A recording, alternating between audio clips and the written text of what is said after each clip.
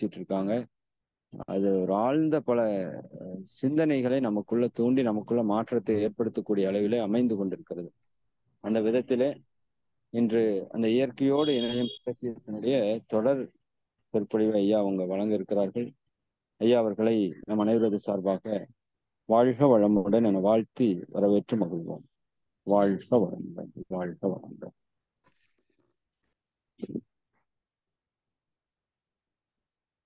அனைவருக்கும் இனிய மாலை வணக்கம். நான் பேசுற ஆடியோ கேக்குதுங்களா? தெளிவா கேக்குதுங்களா? ஆ தெளிவா இருக்குங்க ஐயா. நல்லதுங்க நல்லதுங்க. ஸோ இயற்கையோட இணையும் ரகசியம் கிட்டத்தட்ட இது ஒரு ஐந்தா நான்காவது வாரம் நினைக்கிறேங்க. நான்காவது முறையில் பேச ஆரம்பிக்கிறோம். இதுல ஒவ்வொரு வாரமுமே ஒரு சின்ன சின்ன விஷயங்கள் நோக்கி நம்ம நகர சொல்லியிருக்கோங்க ஆக்சுவலாங்க முதல் ஒரு முறை சொல்லும் பொழுது இயற்கையோட நம்ம இணையணும்னா இயற்கை படைப்பை நம்ம வந்து முதல்ல புரிஞ்சுக்கணும் முழுசா. அந்த படைப்பை நம்ம முழுசா உள்வாங்கணும். இன்னும் சொல்லப்போனா இறைய நான் உள்வாங்கிறதும் இயற்கை உள்வாங்கிறதும் ரெண்டு ஒன்று தாங்க. அதை நான் உள்வாங்கினா மட்டும்தான் நான் அடுத்த கட்டத்தை நோக்கி நகர முடியும். இன்னைக்கு நம்ம வந்து பேச போறது அதோட தொடர்ச்சியில வேறொரு பகுதிங்க.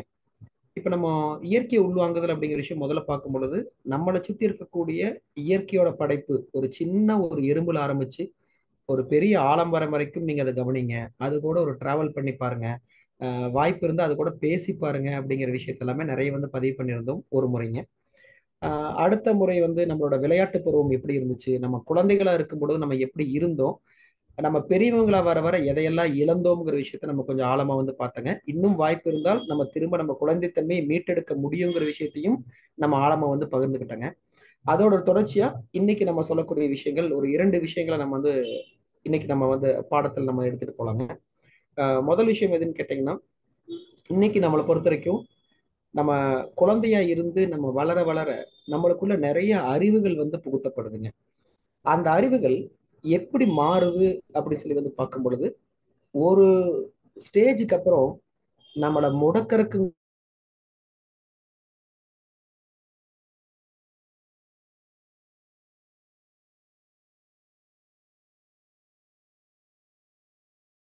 முடக்கறக்கு வந்து நம்மளுக்குள்ள வந்து பயன்பட்டு இருக்குது ஆக்சுவலா இதோட அடுத்த ஒரு விஷயம் எதுனா இயற்கையும் நானும் வெவ்வேறு இல்லை. மனிதன் நான் மனிதனா இருக்கேன் ஒரு இயற்கை இருக்குது. நானும் இயற்கையும் பார்த்தீங்கன்னா வெவ்வேறு கிடையாது.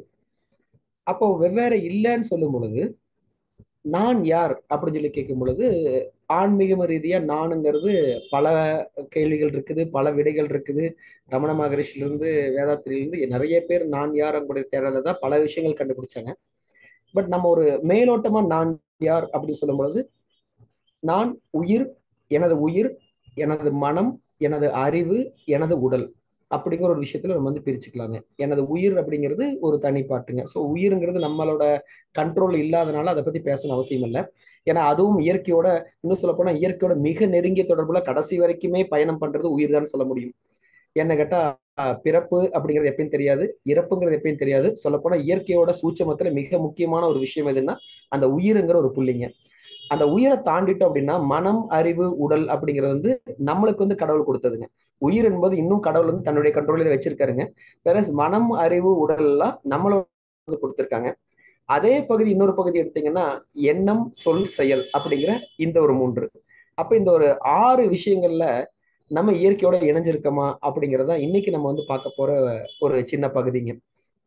இப்போ நம்ம வளர வளர நம்ம சொல்ல பார்த்தீங்களா நம்ம இன்னைக்கு வந்து பார்த்தீங்கன்னா என்ன நம்ம உள்ள ஃபீட் பண்றோமோ அதாக தான் நம்ம வந்து வளர்றோங்க. எது நம்மளுக்கு கொடுக்கப்படுதோ அதை தான் உலகம் என்று நம்பக்கூடிய ஒரு இடத்துக்கு நம்ம வந்து போயிட்ட மொழிய நம்ம முன்னோர்கள் திரும்ப திரும்ப தன்னை உணர்தல் தனக்குள் செல்தல் அப்படி சொல்லி திரும்ப திரும்ப தனக்குள் தனக்குள் தேடுதல் அப்படிங்கிற விஷயத்த கொடுத்துக்கிட்டே இருந்தாங்க. ஆனா ஒரு ஸ்டேஜுக்கு அப்புறம் நம்ம கல்வி முறை எல்லாமே மாற்றங்கள் வரும்போது என்ன பண்ணிட்டோம்னா உள்ள இருந்து யோசிக்கிறது வந்து டோட்டலா விட்டுட்டுங்க. வெளியிருந்து மட்டுமே வாங்கி குமிக்கக்கூடிய இடத்துக்கு வந்து போயிட்டுங்க. இன்னும் லேட்டஸ்டா புரியுற மாதிரி சொன்னோம்னா நம்ம எல்லாருமே ஒரு கூகுள் ஒரு ட்ரை தான் வந்து மாறிட்டோம். டிரைவா மாறிட்டோம். எல்லா பக்கமே ஒன்லி அங்க வெளியிருந்து சொல்லக்கூடிய விஷயங்கள் எல்லாமே தேக்கிறோம் அது எதுக்கு ஏன் அப்படிங்கிற விஷயத்த எங்கேயுமே கேட்கறது இல்லைங்க ஆக்சுவலா இன்னும் சொல்லப்போனா உலகத்துல இருக்கக்கூடிய பலதரப்பட்ட ஒரு மக்கள் வாழக்கூடிய இடத்துல நம்மளுக்கு ஒரு மிகப்பெரிய ஒரு ஆச்சரியம் எதுனா தமிழ் மொழி. அந்த தமிழ் மொழியில கிடைத்த பல வரலாற்றுலராகட்டும் ஏகப்பட்ட ஒரு நல்ல நல்ல விஷயங்கள். இவன் ஒரு ரொம்ப எளிதா புரியணும்னா ஒரு திருக்குறள் அப்படின்னு ஒரு விஷயம் சொல்லாங்க. இரண்டாயிரம் வருஷத்துக்கு முன்னே மிகச்சிறப்பா ஒரு மனிதன் எப்படி வாழணும் அவனோட மனம் எப்படி செயல்படணும் அறிவு எப்படி செயல்படணும் உடல் எப்படி செயல்படணும் அப்படிங்கிற எல்லா சூட்சமத்தையுமே ஒரு ரெண்டாயிரம் வருஷத்துக்கு முன்னாடி மிக தெளிவா விளக்க முடிஞ்சது அப்படின்னா அந்த ஒரு இனம் இந்த மண்ணில் எத்தனை வருஷத்துக்கு முன்னாடி பிறந்திருக்கும் எத்தனை விஷயங்களை வந்து அவங்க வந்து எடுத்திருப்பாங்க விஷயம் ரொம்ப முக்கியங்க. அதனாலதான் திரும்ப திரும்ப திருமூலர்ல ஆரம்பிச்சு திருவள்ளுவர் வரைக்கும் திரும்ப திரும்ப மனசை பத்தி நிறைய விஷயங்கள் பேசுறாங்க. ஆனா இன்னைக்கு நம்ம தொலைச்ச ஒரு விஷயம் எதுன்னு கேட்டீங்கன்னா மனசை பத்தி நம்ம எங்கேயுமே படிக்கிறது இல்லைங்கிறதாங்க கொடுமைங்க. இன்னும் நம்மளோட பள்ளியில மனம் அப்படிங்கிறத பத்திக்கான பாடமே கிடையாதுங்க. முழுக்க முழுக்க இட்ஸ் அ ஜங்க் அறிவு கொண்டே கொட்டு நீ படி மனப்பாடம் பண்ணு. இன்னைக்கும் நம்மளோட டீம்ல வந்து பாத்தீங்கன்னா உலகின் ஏழு அதிசயங்கள் அப்படின்னு கேட்டோம்னா நம்ம கண்ண மூடி சொல்லுவோம். தாஜ்மஹால் ஆரம்பிச்சு சீரப்பெரும்பஞ்சூர்ல இருந்து பைசா கோபுரத்துல இருந்து அப்படியே லைனா சொல்லுவோம் மொழிய. ஒரு இடத்துலயும் கூட இந்த ஏழு தான் சாதனை ஏழு தான் உலக சாதனை உலக ஒரு பெரிய விஷயம் அப்படிங்கிற விஷயத்த யார் முடிவு பண்ணாங்கன்னு கேட்டா தெரியாதுங்க. அப்போ ரொம்ப சிம்பிள் தான். ஒரு தஞ்சாவூர் கோயில் போனா அது வந்து ஒரு பிரம்மாண்டம் இல்லையா அப்படின்னு கேட்டோம்னா அதற்கான பதில் கிடையாதுங்க. இப்படிதான் நம்ம இருக்கோம். அப்ப என்ன ஆகுது? இப்ப நான் வந்து பாக்குறேன் என்ன சுத்தி எனக்கு இருக்கிற பயணங்கள் போறேன். அப்போ எனக்கு கல்லணை ஒரு பிரம்மாண்டமா தோணுது. கல்லணை வந்து ஒரு மிகப்பெரிய ஒரு கன்ஸ்ட்ரக்ஷன் இன்னை வரைக்கும் அது வந்து பண்ணது கிடையாது. ஸோ அப்போ நான் வந்து உலகின் ஏழு அதிசயம் சொல்லும்போது நான் வந்து கல்லணைன்னு அப்படின்னு சொல்லி எழுதுறேன். இன்னொரு பக்கம் தஞ்சாவூர் பெருங்கோயில் எழுதுறேன். இன்னொரு பக்கம் நான் அப்படியே ஒரு ஆலமரத்தை படுத்துட்டு வந்து பார்த்து எழுதுறேன். ஆலமரம் வந்து எனக்கு மிகப்பெரிய ஒரு அதிசயம் எழுதுறேங்க வச்சுலாங்க இப்படி நம்ம வந்து அதிசயம் சொல்றது நிறைய எழுதிட்டு போலாம். ஆனா இப்படி எழுதப்பட்ட உங்களுக்கு மார்க் கிடைக்குமான்னு கேட்டேன்னா கொடுமைங்க ஜீரோ தான் போடப்படும். சொல்லப்போனா மெய்யுணர்தல நான் உணர்ந்து பண்ணக்கூடிய விஷயத்துக்கு ஜீரோங்க. புற அறிவுல நம்மளுக்கு திணிக்கக்கூடிய விஷயத்துக்கு நூத்துக்கு நூறு மார்க் அப்படிங்கிற இடத்துலதான் இன்னைக்கு நம்ம நகர்ந்துருக்கும் இது நான் ஒவ்வொரு வகுப்புலையுமே நான் வந்து திரும்ப திரும்ப கல்வியை நோக்கி நான் லைட்டா அப்பப்போ டச் பண்ணிட்டு வர்றதுக்கான காரணம் எதுன்னா இன்னைக்கு நம்ம குழந்தைகளை பார்த்தோன்னா கல்விங்கிற போர்வையில எவ்வளவு தூரம் நம்ம டார்ச்சர் பண்ற விஷயம் தெரிஞ்சுக்கலாங்க. ஏன்னா ஆஹ் எப்பொருள் அருவா கேட்கணும் அப்பொருள் மெய்ப்பொருள் காண்பது அறிவு அப்படிங்கிறதா உண்மையான அறிவு. மெய்ப்பொருள் காண்பது அறிவு. ஸோ அப்போ ஒவ்வொரு விஷயத்துக்குமே என்னுடைய குழந்தைகள் நம்ம பெரியவங்க அதோட மெய்ப்பொருள் என்னங்கிற உணர்தல் நம்மளுக்குள்ள இருக்கணும். ஆனா துரதிருஷ்டவசமா நம்ம அந்த மெய்ப்பொருளுக்குள்ள நம்ம வந்து போறதே இல்லைங்க. இன்னும் சொல்லப்போனா மிக எளிதா சொல்லப்போனா உணர்ச்சிகளுக்கு ஆட்படக்கூடிய மிக மிக சாதாரண மனிதர்களாக தான் பெரும்பான்மையான மனிதர்கள் இருக்காங்கிறதா ஒரு வேதனையான உண்மைங்க ஆக்சுவலாங்க. இன்னும் சொல்லக்கூடிய இன்னும் நம்ம ஆழமா சொல்லக்கூடிய விஷயம் எடுத்தீங்கன்னா இப்ப நம்ம வந்து வேதாத்திரியம் அப்படின்னு சொல்லி வந்து பார்த்தோன்னா அதற்குள்ள இருக்கக்கூடிய விஷயங்கள் நீங்க வந்து ஒரு எடுத்து கத்துட்டாலும் கூட அங்கே நான் சொல்றதாங்க அதோட மெய்ப்பொருள் காண்பது மட்டும்தான் அறிவு. அவங்க சொன்னாங்க நான் அதை உணர்ந்தேன் அப்படிங்கறது வந்து கண்டிப்பா மெய்ப்பொருள் கிடையாதுங்க. சொல்லப்போனா அந்த ஒரு விஷயம் நம்மளுக்குள்ள இப்படி ஒரு தோணுது அப்படிங்கிற விஷயத்த ஒன்றும் இல்லைங்க ரொம்ப சிம்பிள் எனக்கு வந்து அங்க உள்ள போனனே ஒரு ஆழமா ஒரு உணர்வு வரும். அப்படியே உடம்புல ஒரு மயிர் கூச்சிருன்னு சொல்லி என்னுடைய அனுபவத்தை நான் சொல்றேன் அப்படின்னா இன்னொருத்தருக்கும் அந்த அனுபவம் டிரான்ஸ்ஃபர் ஆகலாம். அப்படின்னு என்னன்னு கேட்டீங்கன்னா அவருக்கு அது உண்மையான அனுபவமா இருக்காது. நான் சொன்ன அனுபவத்தை அவர் அறிவுக்குள்ள வந்து புகுத்தும் பொழுது மனசுக்குள்ள புகுத்தும் போது மனசு அதே விஷயத்துல இருந்து ரியாக்ட் பண்ணக்கூடிய இடத்துக்கு வந்து போயிருதுங்க. அப்போ இது மெய்ப்பொருள் கிடையாதுங்க. ஒவ்வொரு மனிதனும் இயற்கையோட இணையணும்னா மெய்ப்பொருளை அவன் காணணும். இன்னும் சொல்லப்போனா நீங்க கவனிச்சு பார்த்தீங்கன்னா தெரியுங்க ஒரு முகநூல் ஆகட்டும் வாட்ஸ்அப் ஆகட்டும் ஏதோ ஒரு விஷயத்த நீங்க வந்து போட்டு பாருங்களேன் எத்தனை கருத்துக்கள் அதுக்கு பின்னாடி வந்து பதிவுல வருதுன்னு யோசிச்சு பார்த்தீங்கன்னா தெரியும். ஆனா அந்த பதிவுகள் அனைத்துமே மெய்ப்பொருள் உணர்ந்து தான் உணர்ந்து பதிவு பண்ணக்கூடிய கருத்துக்களா கேட்டீங்கன்னா ரொம்ப கொடுமையான விஷயம். எதுவுமே கிடையாதுங்க. தான் கற்ற விஷயங்கள் கேட்ட விஷயங்கள் பார்த்த விஷயங்கள் படித்த விஷயங்கள் தான் அங்க எழுதப்படுது ஒழிய உணர்ந்த விஷயங்கள் எழுதப்படுவதே இல்லை. சோ இயற்கைய உணர்றதுல ரொம்ப முக்கியம் எதுன்னா மெய்ப்பொருள் காண்பது அறிவு தான் இயற்கையோட மிக முக்கியமான விஷயங்க. அதை இன்னைக்கு நம்ம தவற விட்டுட்டு இருக்கோங்கிறதான் ஒரு வருத்தமான உண்மைங்க. ஏன்னா இப்ப நம்ம இந்த ஒவ்வொரு செஷன் நம்ம பேசும்போது சொல்றதுங்க பாஸ்ட் இஸ் பாஸ்ட்டுங்க இனி நம்ம குழந்தைகளுக்கு ஒரு மிகச்சிறந்த ஒரு விஷயத்த கிடைக்குதாங்கிற விஷயத்த என்ஷூர் பண்ண வேண்டிய ஒவ்வொரு பொறுப்புமே நம்மளுக்குள்ள இருக்குதுங்க. அதை உறுதி செய்ய வேண்டிய பொறுப்பு நம்மளுக்கு இருக்கும் பொழுது முதல்ல நம்ம முதல்ல அந்த மெய்ப்பொருள் காண்டுதான் வாழ்றோமா? இல்ல நம்மளும் நம்மளுக்கு கொடுக்கப்பட்ட ஒரு பேக்கெட் தான் வாழ்றோமாங்கிற விஷயம் ரொம்ப முக்கியம். நான் இன்னைக்கு நீங்க கடவுள் பத்தி பேசுறவங்க எத்தனை பேர் வந்து எவ்வளவு வேணா பேசலாங்க. ஆனா கடவுள் பற்றி பேசக்கூடிய தகுதி யாருக்கு இருக்குன்னு கேட்டேன்னா எவன் அவன் ஆழமாக உணர்ந்து புரியறானோ அவனுக்கு மட்டும்தான் கடவுளுக்கான தன்மை இருக்குதுங்க. ஆனா இதுல இன்னொரு ஆச்சரியம்னா கடவுளை ஒன்ஸ் உணர்ந்துட்டான்னா அவன் பேச மாட்டாங்க. அந்த இடத்துல மௌனம் மட்டுமே பதிலா இருக்கும். ஆனா கடவுளை உணராதவங்க என்ன வேணா பேசலாங்க. இன்னும் சொல்ல போனா இது நம்ம கடந்த முறை சொன்னதாங்க. கடவுள் உண்மையான கடவுள் நம்ம முன்னாடி வந்து நின்றாலும் கூட நம்ம இங்க யாருனாலையும் அவர் தான் கடவுள் கண்டுபிடிக்க முடியாது. ஏன்னு கேட்டா நம்மளுக்குள்ள திணிக்கப்பட்ட அறிவுகள் அவ்வளவு அறிவுகள். அப்ப ஆட்டோமேட்டிக்கா நம்மளுக்கு என்ன ஆகுதுன்னா நம்ம வந்து மெய்ப்பொருளை காண்றதை விட்டுட்டு வாழ்க்கையில யார் யார் எது சொல்றாங்களோ அதை நோக்கி நகரக்கூடிய தன்மையை நோக்கி வாழ்றதுதான் இன்னைக்கு மிக கொடுமையான விஷயத்துல ஒன்னா வந்து மாறுதுங்க. சொல்லப்போனா நம்ம ஒரு ஆர்கனைஸ்டு ஒரு அடிமைகளா நோக்கி வந்து வாழக்கூடிய தன்மை இருக்குதுங்க. இன்னைக்கு எடுத்துங்கன்னா நம்மளை சுத்தி இருக்கக்கூடிய விஷயங்கள் பாருங்க.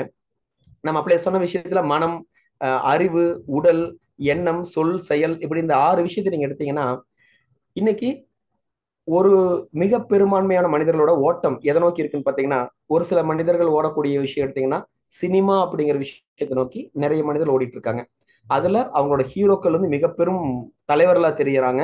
இன்னும் சொல்லப்போனா அடுத்த அரசியல் தலைவராகவும் அவங்க தெரிய ஆரம்பிக்கிறாங்க. இது ஒரு குரூப் அவங்கள நோக்கி ஓடிட்டு இருக்குது இன்னொரு குரூப் எடுத்தீங்கன்னா முழுக்க முழுக்க அரசியல் நோக்கி ஓடக்கூடிய குரூப் நீங்க வந்து பாக்கலாங்க. இன்னைக்கும் எத்தனையோ பேர் தன்னுடைய வாகனத்துல முன்னாடி ஒரு கொடியை கட்டிட்டு அதை ஒரு பெருமையா தன்னுடைய சட்டை பையில வந்து பாத்தீங்கன்னா அவரோட தலைவரோட படத்தை போட்டு அது ஒரு பெருமையா போகக்கூடிய மனிதர்களை நீங்க வந்து பார்க்கலாம் ஓகேங்களா? இப்ப நான் இப்ப சொல்லக்கூடிய மனிதர்கள் ஒருத்தருமே இயற்கையோட இணைய முடியாதுங்கிறதுக்கான மனிதர்களாக தான் நான் சொல்ல வர்றேங்க. நம்ம டீம்ல அது இருக்கக்கூடாதுங்கிறக்காக இவ்வளவு விஷயங்களை வந்து பேச ஆரம்பிக்கிறோம். அப்போ ஒரு குரூப் என்ன பண்ணுது? சினிமாவோட ஓடுதுங்க. இன்னொரு குரூப் என்ன பண்ணுதுன்னா அரசியல் அரசியல் தலைவர்கள் முன்னாடி கட்சி கொடி பின்னாடி பார்த்தீங்கன்னா அதுக்கான கலர் கொடிங்க. அதுக்கப்புறம் ஜோப்ல பார்த்தீங்கன்னா தலைவரோட படம் இப்படி சொல்லி ஓடக்கூடிய ஒரு குரூப் ஒன்று இருக்குதுங்க. அடுத்தது எதுன்னு கேட்டீங்கன்னா விளையாட்டுன்னு சொல்லி ஓடக்கூடிய குரூப் கிரிக்கெட்டா கிரிக்கெட்னா அதுல ஒரு மிகப்பெரிய ஒரு விஷயம். இன்னைக்கு வந்து பாத்தீங்கன்னா இப்ப நான் சொல்லக்கூடிய ஒவ்வொரு விஷயம் சினிமாவட்டும் அரசியலாகட்டும் நீங்க விளையாட்டாகட்டும் எல்லாமே என்ன டெக்னிக்கல் அண்ட் பிஹேவியர்னு சொல்லுவாங்க. ஓகேங்களா இரண்டு விஷயமா. டெக்னிக்கல் என்பது நுட்பமான விஷயங்கள். இந்த நுட்பம் என்பது யார் நினைச்சாலும் கத்துக்க முடியுங்க. ஒரே விஷயம் விருப்பம் இருக்கணும் நேரம் இருக்கணும். இன்னும் சொல்லப்போனா சைக்கிள் ஓட்டுறது மிகப்பெரிய கஷ்டங்க. சொல்ல போனா நம்ம கத்துக்கிட்டதுலேயே ரொம்ப கஷ்டமான விஷயம் சைக்கிள் ஓட்டுறது தான் என்ன கேட்டா அதை பேலன்ஸ் பண்ணி ஓட்டணும். ஒரு ஒரு கருவியை நான் இயக்குறேன். அதை நான் வந்து பேலன்ஸ் பண்ணி இயக்கிறது மிகப்பெரிய கஷ்டம். ஆனா அதை தொடர்ச்சியா நீங்க வந்து அந்த விருப்பம் இருந்தது ஒரு நேரம் இருந்தது கத்துக்கிட்டீங்க. அப்ப சைக்கிள் ஓட்டுறதே மிக பெரும் ஒரு விஷயத்த கத்துக்கிட்டீங்க அப்படின்னா ஒண்ணு இல்லைங்க. யார் நினைச்சாலும் சரி நான் அடுத்த ஒரு வருஷத்துல நான் ஒரு மிகப்பெரிய டான்சர் ஆகணும்னு நினைச்சா டான்சர் ஆயிட முடியும். நான் அடுத்த ஒரு வருஷத்துல மிகச்சிறந்த பாடகனா மாறணும்னா பாடகனாக முடியும். ஒரே விஷயம் அது நம்ம இயல்பு கூட மேட்ச் ஆகணும். அவ்வளவுதாங்க.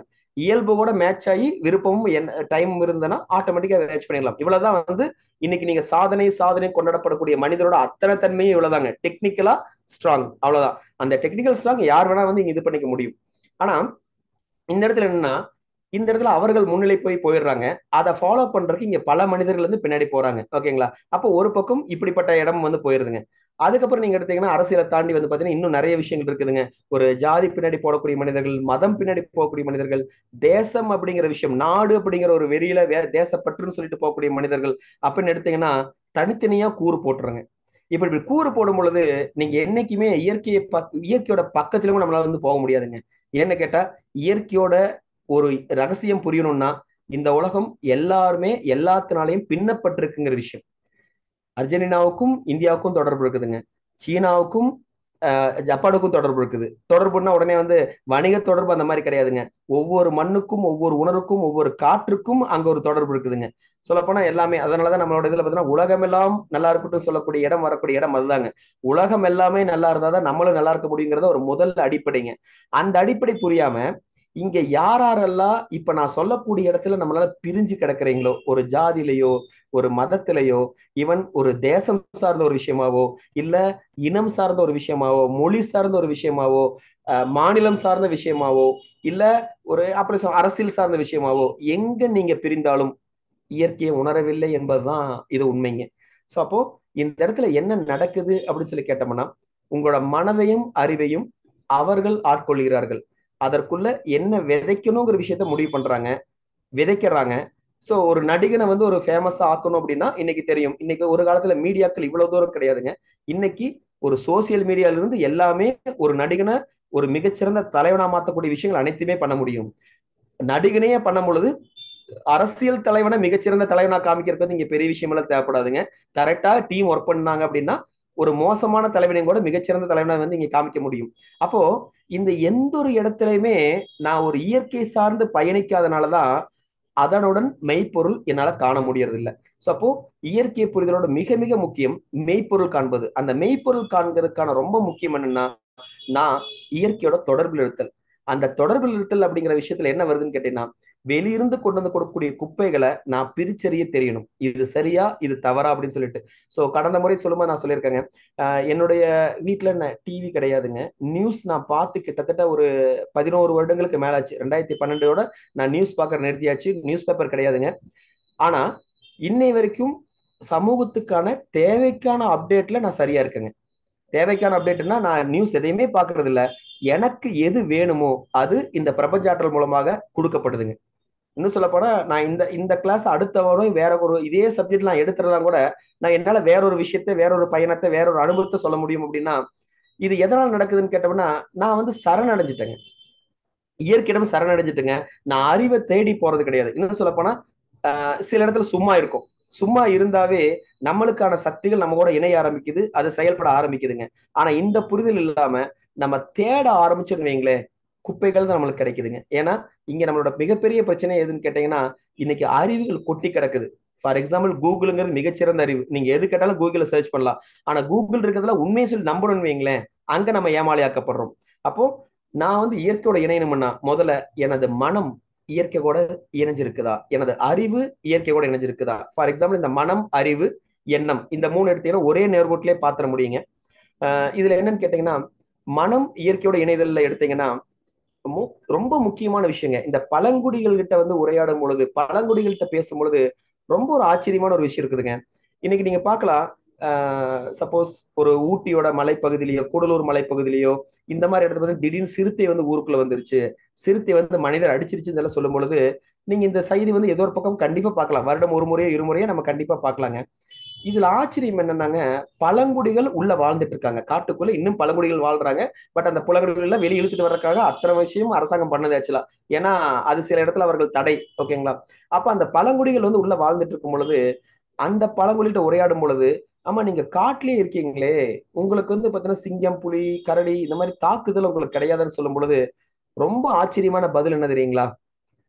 நாங்க மனசார அதை நாங்க கூப்பிடுறது இல்லை அதை அழைக்கிறது இல்லை அது எங்க எங்களுக்குள்ள குறுக்க வரக்கூடாதுங்கிறத நாங்க ஆழமா நம்புறோம். அதே போலதான் அதோட எண்ணம் இருக்குது. அப்ப நாங்க ரெண்டு பேருமே சந்திக்கிறது இல்ல. எங்களோட இடத்துல பழங்குடிகள் இடத்துல புலிகள்னாலேயோ சிறுத்தைனாலேயோ மரணம் என்பது ஏதோ பல வருடங்களுக்கு ஒரு முறை நடக்கக்கூடிய ஒரு அதிசயமான நிகழ்வா ஒழிய எங்களுக்குள்ள இதெல்லாம் அடிக்கடி நடக்கிறது இல்லைங்கிறது அவங்களோட பதிலுங்க.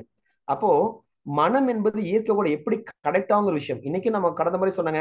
ஒரு வேடந்தாங்கல இருந்து வந்து கிட்டத்தட்ட ஒரு ஆறு மாசம் எட்டு மாசத்துக்கு வேடந்தாங்களுக்கு வரக்கூடிய பறவை இந்த முறை மழை இருந்தா கரெக்டா வரும். மழை இல்லைன்னா வராதுங்க. அப்ப அந்த மழை இல்ல இந்த வருஷம் இல்லைங்கிற விஷயத்த எப்படி அந்த பறவை ஆறு மாதத்துக்கு முன்னாடி உணருதுன்னு கேட்டீங்கன்னா அதுதான் மனதால் இயற்கை உணர்தல் அப்படிங்கிற விஷயங்க. இது சுனாமியோட எக்ஸாம்பிளே சொன்னாங்க. சுனாமியில வந்து இறந்த விஷயங்கள் எந்த ஒரு பறவையும் காகமோ இல்ல ஒரு கழட்டி விட்டிருந்த ஒரு நாயோ சாகலைங்க.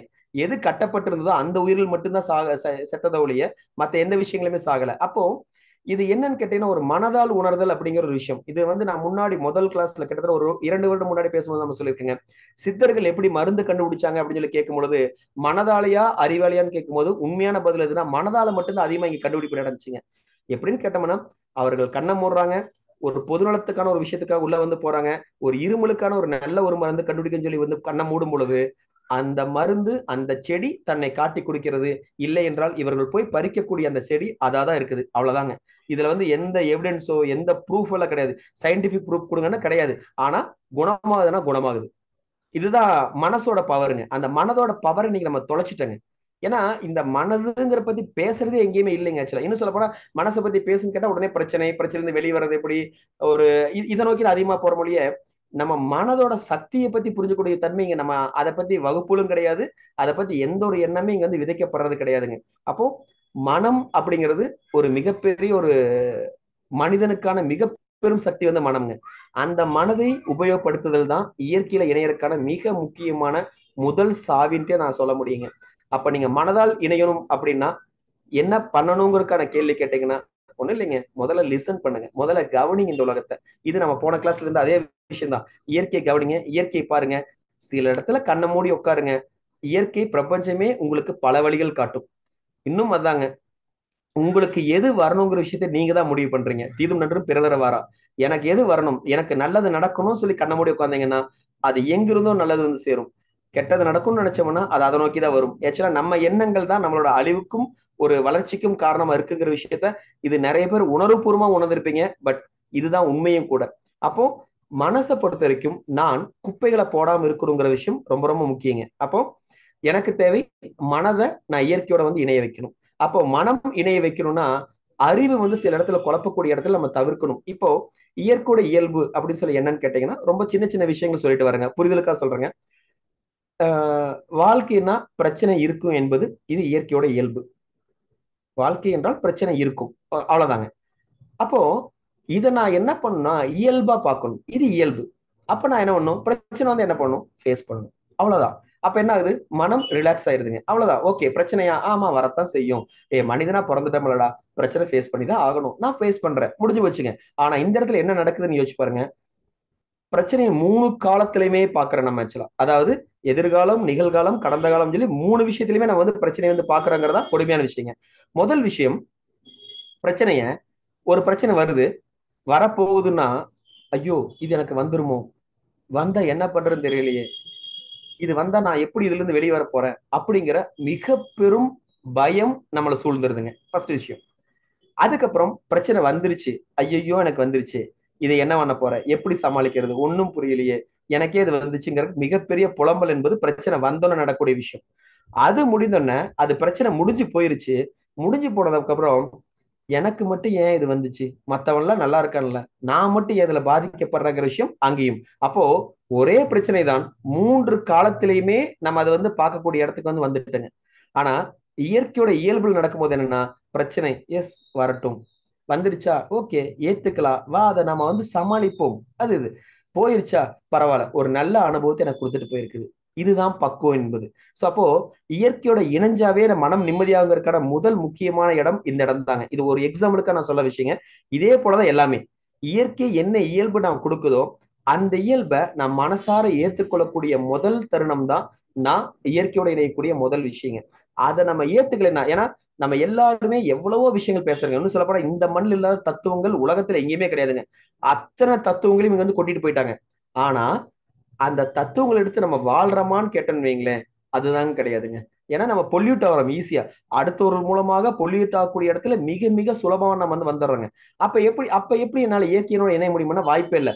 பேசுறது ஒன்னா இருக்குது நம்மளோட செயல் வேற மாதிரி இருக்குதுங்க. அப்போ இந்த இடத்துல முதல் விஷயம் இயற்கையோட இணைதலுக்கு ரொம்ப முக்கியமான விஷயம் சும்மா இருக்கிறதாங்க. மனதை நிலைநிறுத்துங்கள். அமைதியா இருங்க. எது வருதோ அதை ஏற்றுக்கொள்ளுங்கள். நான் சொல்ல ஒரு போன முறை சொன்னதாங்க வலியும் கூட ஒரு இயற்கை கொடுக்கக்கூடிய ஒரு விஷயம்தான். அந்த வலியை நான் ஏத்துக்கிறேன் மனப்பூர்வமா ஏத்துக்கும் போது பாருங்க ஒரு சில இடத்துல வலி கூட நம்மளுக்கு தெரியாதுங்க. சோ மனப்பூர்வமா ஏத்துக்கிறேன். ஏன்னா இது இயற்கை. இது இப்படிதான் நடக்கும். இதுல இருந்து நம்மளால மீள முடியாது. இது அனைத்துமே நான் வந்து எடுத்து கடந்தாகணும். சோ இயற்கை கூடிய மிகப்பெரிய ஒரு விஷயத்த முன்னாடி பேசியிருக்கேங்க. அதாவது சக மனிதரோட மரணம் வந்து பாத்தீங்கன்னா ஒரு இயற்கை கொடுக்கக்கூடிய மிகப்பெரிய தண்டனைன்னு சொல்லலாம். இது தண்டனைன்னு சொல்லலாம் இது வந்து நம்மளுக்காக தாங்க. அது தண்டனைன்னு சொல்லலாம் வரம் சொல்லலாம் எதுவும் தெரியாதுங்க. ஆனா ஒரு சக மனிதனோட மனிதம் என்னை பாதிக்குது. ஆனா அதுக்கு இயற்கை பதில் வச்சிருக்குதுங்க. இயற்கையோட இயல்புப்படி நம்ம பண்ண வேண்டிய ஒரே விஷயம் எதுனா காலம் காத்திருத்தல். நான் வெயிட் பண்ணணும். காலம் நான் உட்காரணும். அந்த காலம் நகரும். இது என்ன ஒரு ஆச்சரியனா காலம் வந்து ஒரே இடத்துல நின்றாதுங்க. நீங்க அந்த இடத்துல காத்திருக்கணும். இயற்கை அப்படியே நகர்த்திட்டு போகும். ஆறு போல நீங்க நகர்ந்தீங்கன்னா இந்த சம்பவம் நடந்து அடுத்த ஒரு வருடம் கழித்து பார்க்கும் பொழுது அதுல இருந்து நீங்க முழுவதுமா வெளியே வந்திருப்பீங்க. இதுதாங்க இயற்கையோட இழப்பு ஆனா அதை விட்டு போட்டு அந்த இடத்துல இருந்து புலம்பி கடவுளை திட்டு இயற்கை திட்டு எல்லாம் பண்ண ஒண்ணுமே சாத்தியம் இல்லை ஏன்னா நீங்க காத்திருக்கணும். சப்போ இயற்கை சொல்லக்கூடிய ரொம்ப முக்கியமான விஷயங்க. ரெண்டு விஷயம் எடுத்துக்கோங்களேன். ஆஹ் காத்திருத்தல் கடமை செய்தல் அப்படிங்கிற விஷயம் தான் இயற்கை வந்து உங்கள்கிட்ட எதிர்பார்க்கக்கூடிய விஷயம். அதாவது மனம் அறிவு உடல் அப்படிங்கிற விஷயம் மட்டும் எண்ணம் சொல் செயலாகட்டும் இதுல நான் என்ன பண்றேன்? ஒரு சமைக்கிறேன்னு வச்சுக்கோங்களேன். சமைக்கிறதுல நான் என்ன பண்றேன்னா முதல்ல நான் ஒரு பாத்திரம் எடுத்துக்கிறேன். அதுல தண்ணீர் ஊத்துறேன். அப்புறம் அதுல அரிசி வந்து களைஞ்சு போடுறேன். கேஸ் பத்த வைக்கிறேன். பத்த வச்சதுக்கு அப்புறம் இது எல்லாமே ஒரு பத்து நிமிடங்கள நடக்கலாம். இல்லை ஒரு ஐந்து நிமிடங்களில் நடக்கலாங்க. இந்த ஐந்து நிமிடம் நான் வேலை செஞ்சதுக்கு அப்புறம் நான் அடுத்து மிகப்பெரிய ஒரு விஷயத்த பண்ணணும். சும்மா இருக்கணும். காத்திருக்கணும். இதுதான் இயற்கை நம்மளுக்கு கொடுக்கக்கூடிய பாடங்க. நீ உன் கடமையை செய்ய செஞ்சதுக்கு அப்புறம் நகர்ந்து நின்று. பக்கத்தில் நிக்காத. ஓகேங்களா? நகர்ந்து நின்று. அப்படி நகர்ந்து நின்ற அப்படின்னா அடுத்த ஒரு இருபது நிமிஷம் நீ பண்ணது இங்க அஞ்சு நிமிஷம் தான் அடுத்த ஒரு இருபது நிமிஷம் கழிச்சு அது ஒரு சோரா நம்மளுக்கு வந்து மாறும். இந்த மாற்றம் எப்படி நடக்குதுன்னு கேட்டோம்னா அதுதான் இயற்கையோட இயல்புங்க. ஒரு தண்ணி இருக்குது தண்ணிக்குள்ள அரிசி போடுறோம் அது சூடு பண்ணா அது வந்து அரிசி என்பது சாஃப்டா மாறி சோறா மாறி அது எனக்கு உணவாங்கிறது பார்த்தீங்கன்னா இது வந்து இயற்கை கொடுத்த விஷயம். இதை மனிதன் கண்டுபிடித்தான். இயற்கை வந்து அந்த அரிசியும் தண்ணியும் இந்த போதே பார்த்தீங்கன்னா படைக்கப்பட்டது. அரிசி படைக்கப்பட்டது தண்ணீர் படைக்கப்பட்டது. ஆனா அந்த அரிசியும் தண்ணியும் வச்சு என்ன பண்ணலாங்கிற விஷயம் கண்டுபிடித்தான். அது வந்து ஒரு அறிவுங்க. அந்த அறிவுங்கிறது ஆக்கப்பூர்வமான அறிவு இருக்குது அழிவுக்கான ஒரு அறிவு இருக்குது. இது ரெண்டு விஷயமான வித்தியாசமான விஷயம். அப்போ எனக்கு இந்த இடத்துல நான் என்ன பண்றேன்னா என்னுடைய கடமையை நான் முழுசா செய்யறேன் செஞ்சு முடிச்சதுக்கு அப்புறம் இயற்கையோட இயல்பின்படி நான் காத்திருக்கிறேன். இதே விஷயம்தான் நீங்க ஒரு எங்கேயோ ஒரு பயணங்கள் சொல்லும்போது ஒரு மாம்பழம் ருசிக்கிறீங்க அந்த மாம்பழம் ரொம்ப நல்லா இருக்குது அந்த சுவை உங்களுக்கு வேணும்னு ஆசைப்படுறீங்க அந்த ஒரு விதையை நீங்க எடுத்துட்டு அந்த ஒரு கொட்டையை நீங்க எடுத்துட்டு வர்றீங்க எடுத்து வந்து உங்களோட வீட்டுல தோட்டத்துல ஒரு இடத்துல வந்து உள்ள புதைக்கிறீங்க தண்ணி ஊத்துறீங்க பராமரிக்கிறீங்க. ஒரு சில நாட்கள் கழித்து பார்த்தீங்கன்னா அதுல அழகாக அழகா அதை முட்டி அந்த மாமர விதை வந்து மேலே வந்து பார்த்தீங்கன்னா ஒரு சின்ன செடியா வந்து துளிர் விடுதுங்க. இந்த செடியா துளிர் விடும் போதும் நான் தண்ணி ஊற்றி ஆகணும். அந்த துளிர் விட்டோம்னா மேலே பார்த்தீங்கன்னா சில முட்கள் கொண்டு அதை மூடணும். ஏன்னா வேற ஏதோ சாப்பிட்டு கூட கடிச்சிடக்கூடாதுன்னு மூடணும். அது கொஞ்சம் கொஞ்சமாக வளர்ந்து என்னுடைய முட்டி அளவு வரும் பொழுது பார்த்தீங்கன்னா கண்டிப்பாக ஒரு ப்ராப்பராக அதுக்கான ஒரு வேலி சின்ன வேலியை வந்து நான் வந்து சுத்திடுறேன். ஒரு ஃபென்சிங் மாதிரி போட்டு வச்சிருங்க ஏன்னா மாடோ ஆடோ எதுவுமே சாப்பிடக்கூடாதுங்கிறக்காக மறுபடியும் தண்ணி ஊத்துற அதுக்கான சூழல் அமைச்சு கொடுக்குற இரு சில ஒரு ஒரு வருடங்கள் ஒன்றரை வருடங்கள் கழித்து அது நம்ம தலைக்கு மேல ஒரு பத்தடி பதினோரு அடி வந்து வளர்ந்து நிற்கும் அந்த பத்தடி வந்து வளர்க்க அப்புறம் நீங்க தண்ணி ஊற்றணும் அவசியம் இல்லை. அதுக்கு பராமரிப்புன்னு அவசியம் இல்லை. அது அப்படியே அங்க நிற்கும் அதுக்கப்புறம் மறுபடியும் நான் முன்னாடி சொன்ன சமையல் அதே விஷயம்தான் இயற்கையோட இயல்பின்படி நீங்கள் காத்திருக்க வேண்டும். கிட்டத்தட்ட ஒரு ஐந்து வருடங்களா இருக்கலாம் நான்கு வருடங்களா இருக்கலாம் ஆறு வருடங்களா இருக்கலாம். நீங்க காத்திருக்கணும். காத்திருக்கும் பொழுது கிடைக்கக்கூடிய இது பழங்கள். அந்த பழம் உங்களுக்கு மட்டும் இல்லைங்க அடுத்த தலைமுறைக்கு சேர்த்து உங்களுக்கு அது வந்து பயனாகும் ஆக்சுவலா அப்போ இயற்கையோட இயல்பு எடுத்துக்கோங்க. நம்ம ஒண்ணு கொடுக்குறோம் அதை முழுசா மனவிரியும் செய்யறோம் அதுக்கப்புறம் காத்திருக்கணும். இந்த இயல்பை புரியாதவங்க தான் மனசுல பல பிரச்சனைகள் எதிர்கொள்றாங்க. ஏன்னா இன்னைக்கோட கல்வி முறை அனைத்துமே காத்திருத்தல் அப்படிங்கிற விஷயத்த முழுவதுமாக கட் பண்ணிருச்சுங்க. திரும்ப திரும்ப நீ ஓடு உல உனக்கு கிடைக்கும். உனக்கு கிடைக்கும். கிடைக்கலையா அதை விட்டு நகர்ந்துரு. கிடைக்கலையா அது நகர்ந்துரு சோ இன்னைக்கு என்னாச்சுன்னா நம்மளோட குழந்தைகள் அடுத்த தலைமுறை குழந்தைகளை பார்த்தா பயமா இருக்குது. எல்லாத்துலயுமே பிடிவாதம். இது கிடைச்சுதா கிடைக்கலையா? கிடைக்கலன்னா வந்து வேற இன்னும் சொல்ல போனா அதை நம்ம கடந்த மாதிரி சொன்னதாங்க. ஒரு மொபைல் போன் கிடைக்கலைன்னா கூட தற்கொலை பண்ணக்கூடிய இடத்துக்கு வந்து குழந்தைகள் போறாங்கன்னா அதற்கான விஷயம் இன்னைக்கு காத்திருக்கிறதுக்கான பொறுமையை எந்த ஒரு இடத்துலயுமே நம்ம வந்து நம்ம பள்ளியிலயோ இல்ல நம்ம வீட்லயோ குழந்தைக்கு சொல்லி கொடுக்கறது இல்லைங்கிறதாங்க கொடுமைங்க. அப்போ காத்திருக்கணும் அப்படிங்கிற விஷயத்த ஒரு இயற்கையோட இயல்புல மிக மிக முக்கியமான ஒரு விஷயமா எடுத்துக்கோங்க. அந்த காத்திருக்கிறதுக்கு முன்னாடி பண்ண வேண்டிய விஷயம் எதுனா கடமையை செஞ்சுட்டு காத்திருங்க. கடமையை செய்யாம காத்திருந்தா இப்போ சாட்டியெல்லாம் வச்சாச்சுங்க தண்ணி ஊத்தியாச்சுங்க அரிசியும் போட்டாச்சுங்க. ஆனா கேஸ் பத்த வைக்கலைங்கன்னு வச்சுக்கோங்களேன். கடைசி வரைக்கும் காத்திருந்து மட்டும்தான் இருக்கணும் மொழிய அங்க பலன் எதுவுமே கிடைக்காது. அப்போ என் கடமையை நான் முழுசா பண்றேன் அதற்கப்புறம் காத்திருக்கிறேன். அப்ப காத்திருத்தல் அப்படிங்கிறது மனம் சார்ந்த ஒரு விஷயம். மனம் சார்ந்த ஒரு விஷயத்துல இந்த காத்திருத்தல் இன்னைக்கு நம்ம தொலைச்சிட்டு வந்துட்டு இருக்கோம். முதல்ல ஒரு காலத்துல எல்லாமே காத்திருந்தாங்க. சொல்லப்போனா விவசாயம் பண்ணும் பொழுது மிக மிக இயல்பான அடிப்படையே நம்மளுக்கு அந்த காத்திருத்தல் கிடைச்சிருங்க. ஒரு விவசாயம் என்பதே அந்த காத்திருத்தலோட மிக முக்கியமான அடிப்படை. ஏன்னா எல்லாத்துக்குமே காத்திருக்கணும். ஒரு செடி காத்திருக்கணும் விதை காத்திருக்கணும் பூ காத்திருக்கணும் அது பூச்சி இல்லாம இருக்கிற காத்திருக்கணும் மழைக்கு காத்திருக்கணும் வெயிலுக்கு காத்திருக்கணும் எல்லாமே காத்து தான் ஒரு விவசாயத்துல இருந்து ஒரு பொருள் உற்பத்தி ஆகப்படுது. அப்போ இயற்கையோட இயல்பின்படி எல்லாமே காத்திருத்தல். ஈவன் ஒரு வயிற்றுல ஒரு குழந்தை உருவானா கூட பத்து மாதம் காத்திருந்தால் குழந்தை கிடைக்கும். காத்திருத்தல். யூ ஹேவ் டு வெயிட் ஓகேங்களா ஒவ்வொரு இடத்துலயுமே இயற்கை தனது இயல்பா காத்திருத்தல் அப்படிங்கிற ஒரு விஷயத்த வச்சிருக்குதுங்க. இன்னைக்கு நான் பார்த்த பல மனிதர்களோட ஒரு பிரச்சனைக்கான இடம் எதுனா காத்திருத்தல்ல பொறுமை இல்லைங்க. அதுக்கப்புறம் நான் எத்தனை நாள் காத்திருக்கணுங்கிற ஒரு கேள்விங்க. ஓகேங்களா இந்த கேள்விக்கான பதில் கண்டிப்பாக மனிதனால் சொல்ல முடியாதுங்க. இந்த பிரச்சனைக்கு நான் எத்தனை நாள் காத்திருக்கணும் அப்படின்னு கேட்டீங்கன்னா இது எதுலையுமே இல்லைங்க. அது வந்து கிடையாது. நீ வந்து எண்ணங்கள் மறுபடியும் ஸ்ட்ராங்கவை இல்லை இதுல இருந்து நான் வெளியே வருவேன் வெளியே வருவேன் வெளியே வருவேன். கடைசியில அதுக்கான விஷயம் ஒரு நாள் வெளியே வருவோம். அவ்வளவுதான். ஸோ அப்போ காத்திருத்தல் என்பது இயற்கையோட முதல் அடிப்படைங்க. இந்த மனம் அறிவு இந்த ரெண்டு இடத்துலயுமே ரொம்ப முக்கியம் எதுனா காத்திருத்தல். அத அறிவு வந்து மனசுகிட்ட சொல்லணும். இல்ல நம்ம வெயிட் பண்ணி ஆகணும். அப்ப மனசு என்ன ஆகும்? ஆமா நம்மளுக்கு கண்டிப்பா நல்லதா நடக்கும். கொஞ்சம் பொறுமையா இருக்கலாம். அப்படின்னு சொல்லும் பொழுது ஆட்டோமேட்டிக்கா அது ஒரு பொறுமையை நோக்கி ஒரு அற்புதமான இடத்தை நோக்கி நகரக்கூடிய இடத்துக்கு வந்து போகுங்க. அப்போ இயற்கையோட இணையறதுக்கான முதல் அடிப்படை அப்படிங்கிற விஷயம் கடந்த வாரத்தில் நிறைய பார்த்துருந்துருக்கோம். இந்த வாரம் அடுத்த அடிப்படை எதுன்னு கேட்டீங்கன்னா இயற்கையோட இயல்பு என்னங்கிற ஒவ்வொரு துளியும் புரிஞ்சுக்கோங்க. நீங்க எதுவா இருந்தாலும் சரிங்க ஒன்றும் இல்லைங்க. இப்போ வந்து நான் பேசுறது கூட உங்களுக்கு தேவையில்லைங்க. ஒரு உங்களை சுத்தி இருக்கக்கூடிய ஒரு மீன் ஒரு நாய் ஒரு மாடு ஒரு பன்னிக்குட்டி இவன் கழுதை இவன் ஒரு ஆறு இவன் ஒரு மரம் இதை நீங்க ஜஸ்ட் க்ளோஸ் அப்சர்வ் பண்ணா போதுங்க.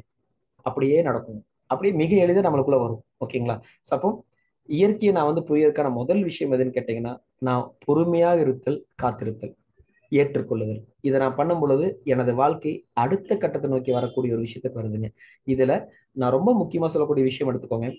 இந்த அறிவுல கொண்டு வந்து நிறைய உள்ள போடுறோம் பார்த்தீங்களா அது எனக்கு தடையா இருக்குங்கிற விஷயம் பல இடத்துல இருக்கு. இப்போ நீங்க செம்பருத்தியை பத்தி விளக்குங்க அப்படின்னு சொன்னோம்னா நம்ம இங்க இவ்வளவு எவ்வளவு விளக்க முடியும்னு யோசிச்சு பாருங்களேன். ஒரு சாதாரணமான மனிதர்கள் எப்படி விளக்க முடியும்னா செம்பருத்தி சிகப்பா இருக்குது. இது வந்து சாமிக்கு வைக்கலாம். ஆஹ் இது வந்து இப்படி போட்டால் இந்த செடி இவ்வளோ நாளில் வரும் அப்படின்னு சொல்லி சொல்ல முடியும். இதே கொஞ்சம் படித்தவர்கள் அப்படின்னு எடுத்தாச்சுன்னா இன்னும் கொஞ்சம் டெப்தா போய் இதுக்கு வந்து உயிரியல் ஃபார்மா ஒன்று இருக்குதுங்க. இது பேர் ஹைபிஸ்கஸ் அப்படின்னு சொல்லுவாங்க. இது வந்து இந்த தாவர வகையை சார்ந்ததுங்க. இது இப்படிங்க அப்படின்னு சொல்லி அவங்க சொல்லலாம். இன்னும் கொஞ்சம் ஆழமா படிச்சவங்க பார்த்தீங்கன்னா இதோட மருத்துவ பயன்கள் இதெல்லாம் இருக்குதுங்க. இதோட அறிவு பயன்கள் அது வருதுங்க இது வருதுங்கன்னு சொல்லாங்க. இப்ப நான் சொல்லக்கூடிய விஷயம் அதுன்னா இது அத்தனையுமே சேர்ந்தது செம்பருத்தியோட முழுமையா அப்படின்னு கேட்டீங்கன்னா உண்மையை சொல்றேங்க அது கூட முழுமை இல்லை. அந்த முழுமை எனக்கும் தெரியாது உங்களுக்கும் தெரியாதுங்க. ஆனா தெரிய முடியும். எப்படின்னு கேட்டா செம்பருத்தி கூட நான் பேசினா முடியும். உணர்ந்தால் முடியும். அப்போ இயற்கையோட இயல்பை உணரணும் அப்படின்னா முதல்ல உங்க அனுபவமா எல்லாத்தையுமே மாத்துங்க. பலர் அனுபவம் கேட்டு நீங்க பேசுனீங்கன்னா இன்னைக்கு சொல்றேங்க கடவுளையும் உங்களால் அடைய முடியாது தியானத்திலையும் உங்க அடுத்த கட்டத்துக்கு போக முடியாது மன நிம்மதியிலையும் போக முடியாது எதுலையுமே நம்மளால நகர முடியாது. இன்னைக்கும் உங்களுக்கு தேவையா அனுபவம் அந்த அனுபவத்துக்கு காத்திருக்கணும். உங்க அனுபவம் உங்க உணர்தல்ல மட்டும்தான் நம்ம பேசணும் ஒரு விஷயத்துக்கு கண்டு வைங்களேன். ஏன்னா முதல்ல நாங்க நிறைய விஷயங்கள் பேசுறோம் கடவுளை பத்தி பேசியிருக்கோம் ஏகப்பட்ட விஷயம். நம்மளோட வரலாறு பத்தி பேசியிருக்கோம் அதுவா இதுவா எல்லாம் பேசியிருக்குங்க. ஒரு ஸ்டேஜுக்கு அப்புறம் நம்ம பேசுறது சரியாங்கிற ஒரு தயக்கம் வந்துருதுங்க ஆக்சுவலாங்க இப்ப அப்படியே சொன்ன விஷயம் தான் இப்ப நான் வந்து கடவுள்னு சொல்லி எனக்கு வந்து என்னுடைய அம்மா அப்பா முதல்ல சொன்னாங்க. அதை நான் உள்ள எடுத்துட்டு வந்தேன். அதுக்கப்புறம் பார்த்தீங்கன்னா சில புத்தகங்கள் படித்தேன் சில தலைவர்கிட்ட பேச்சு கேட்கிறோம். அது இது எல்லாமே உள்ள கேட்கிறோம். சித்தரோட வார்த்தை கேட்கிறோம். இதெல்லாம் உள்ள வந்து போயிட்டே இருக்குதுங்க. இப்ப நான் எனக்குள்ள ஒரு கடவுள் ஒரு பிம்பம் கிரியேட் ஆயிட்டாரு. அது உண்மையா அப்படின்னு கேட்டானா இன்னைக்கு சொல்றேங்க. அது உண்மை கிடையாது. அது சத்தியமா அது கடவுள் கிடையாதுங்க. ஓகேங்களா? அப்ப எது கடவுள் அப்படின்னா நான் உணரணும். அப்ப நான் உணர்வு வந்தாச்சுன்னா இப்ப எங்கிட்ட வந்து ஒருத்த வந்து கடவுளை பத்தி ஒரு சண்டையோ மதத்தை பத்தி ஒரு சண்டையை பிடிச்சேன்னா எனக்கு சண்டை பிடிக்க தோணாது. என்ன கேட்டா இல்லப்பா எனக்கு இன்னும் தெரியல. நான் உணர்ந்ததுக்கு அப்புறம் சொல்றேன் அப்படின்னு சொல்லிட்டு நகருதல் வந்துச்சுன்னா பல இடத்துல பல பிரச்சனைக்கான மிகப்பிறந்த தீர்வுங்கிறது இதுதாங்க நான் உணர்ந்தா பேசுவேன். என்னுடைய கருத்தை வச்சு நான் வந்து பேச மாட்டேன். நீங்க எடுத்துக்கோங்க எத்தனை கருத்துக்கள் இன்னைக்கு நம்மளுக்கு? ஏகப்பட்ட விஷயம். ஏன்னா இன்னைக்கு நம்மள உணர்ச்சிகளை ஆட்பல்ல வச்சுதான் இன்னைக்கு வந்து பல விஷயங்கள் நடக்கப்படுது. இது நம்ம அப்படியே சொன்ன அந்த எக்ஸாம்பிள் தாங்க. ஒரு நம்மளுக்கு வந்து இப்போ நம்ம ஒரு மெச்சூரிட்டி பீப்புளா இருக்குன்னு வைங்களேன் நம்மளுக்கு வந்து ஒரு இவன் பிறா நடிகன் பின்னாடி இப்படி எப்படி இவங்க எல்லாம் ஓடுறாங்க? அந்த ஹீரோ பின்னாடி இவன் என்னடா இருக்குது அப்படின்னு கேட்டோம்னா உடனே நம்ம அவங்க விமர்சனம் பண்றோம். அடுத்த கேள்வி நீ கடவுள் கடவுள் ஓடுறையே நீ அந்த உணர்ந்து போனையான்னு கேட்டு பாருங்க. அதுவும் கிடையாது. ஸோ அவன் ஒரு உணர்ச்சியில போறான் நீ உன உணர்ச்சியில போற. அவ்வளவுதான் வித்தியாசம். அவனும் உணர்ந்த பாடு இல்லை நீயும் உணர்ந்த பாடு இல்லை. அப்போ ரெண்டு பேத்துக்கு என்ன வித்தியாசம் நினைக்கிறீங்க? எதுவுமே கிடையாது. அப்போ நீயா இருந்தாலும் சரி அவனா இருந்தாலும் சரி அந்த இடத்துல அந்த உணர்தல முக்கியம். அவன் ஆழமா உணர்ந்தா அப்படின்னா அந்த அந்த நடிகன் என்பது ஒண்ணும் இல்லைங்க உணர்ந்துருவான் வெளியே வந்துருவான்.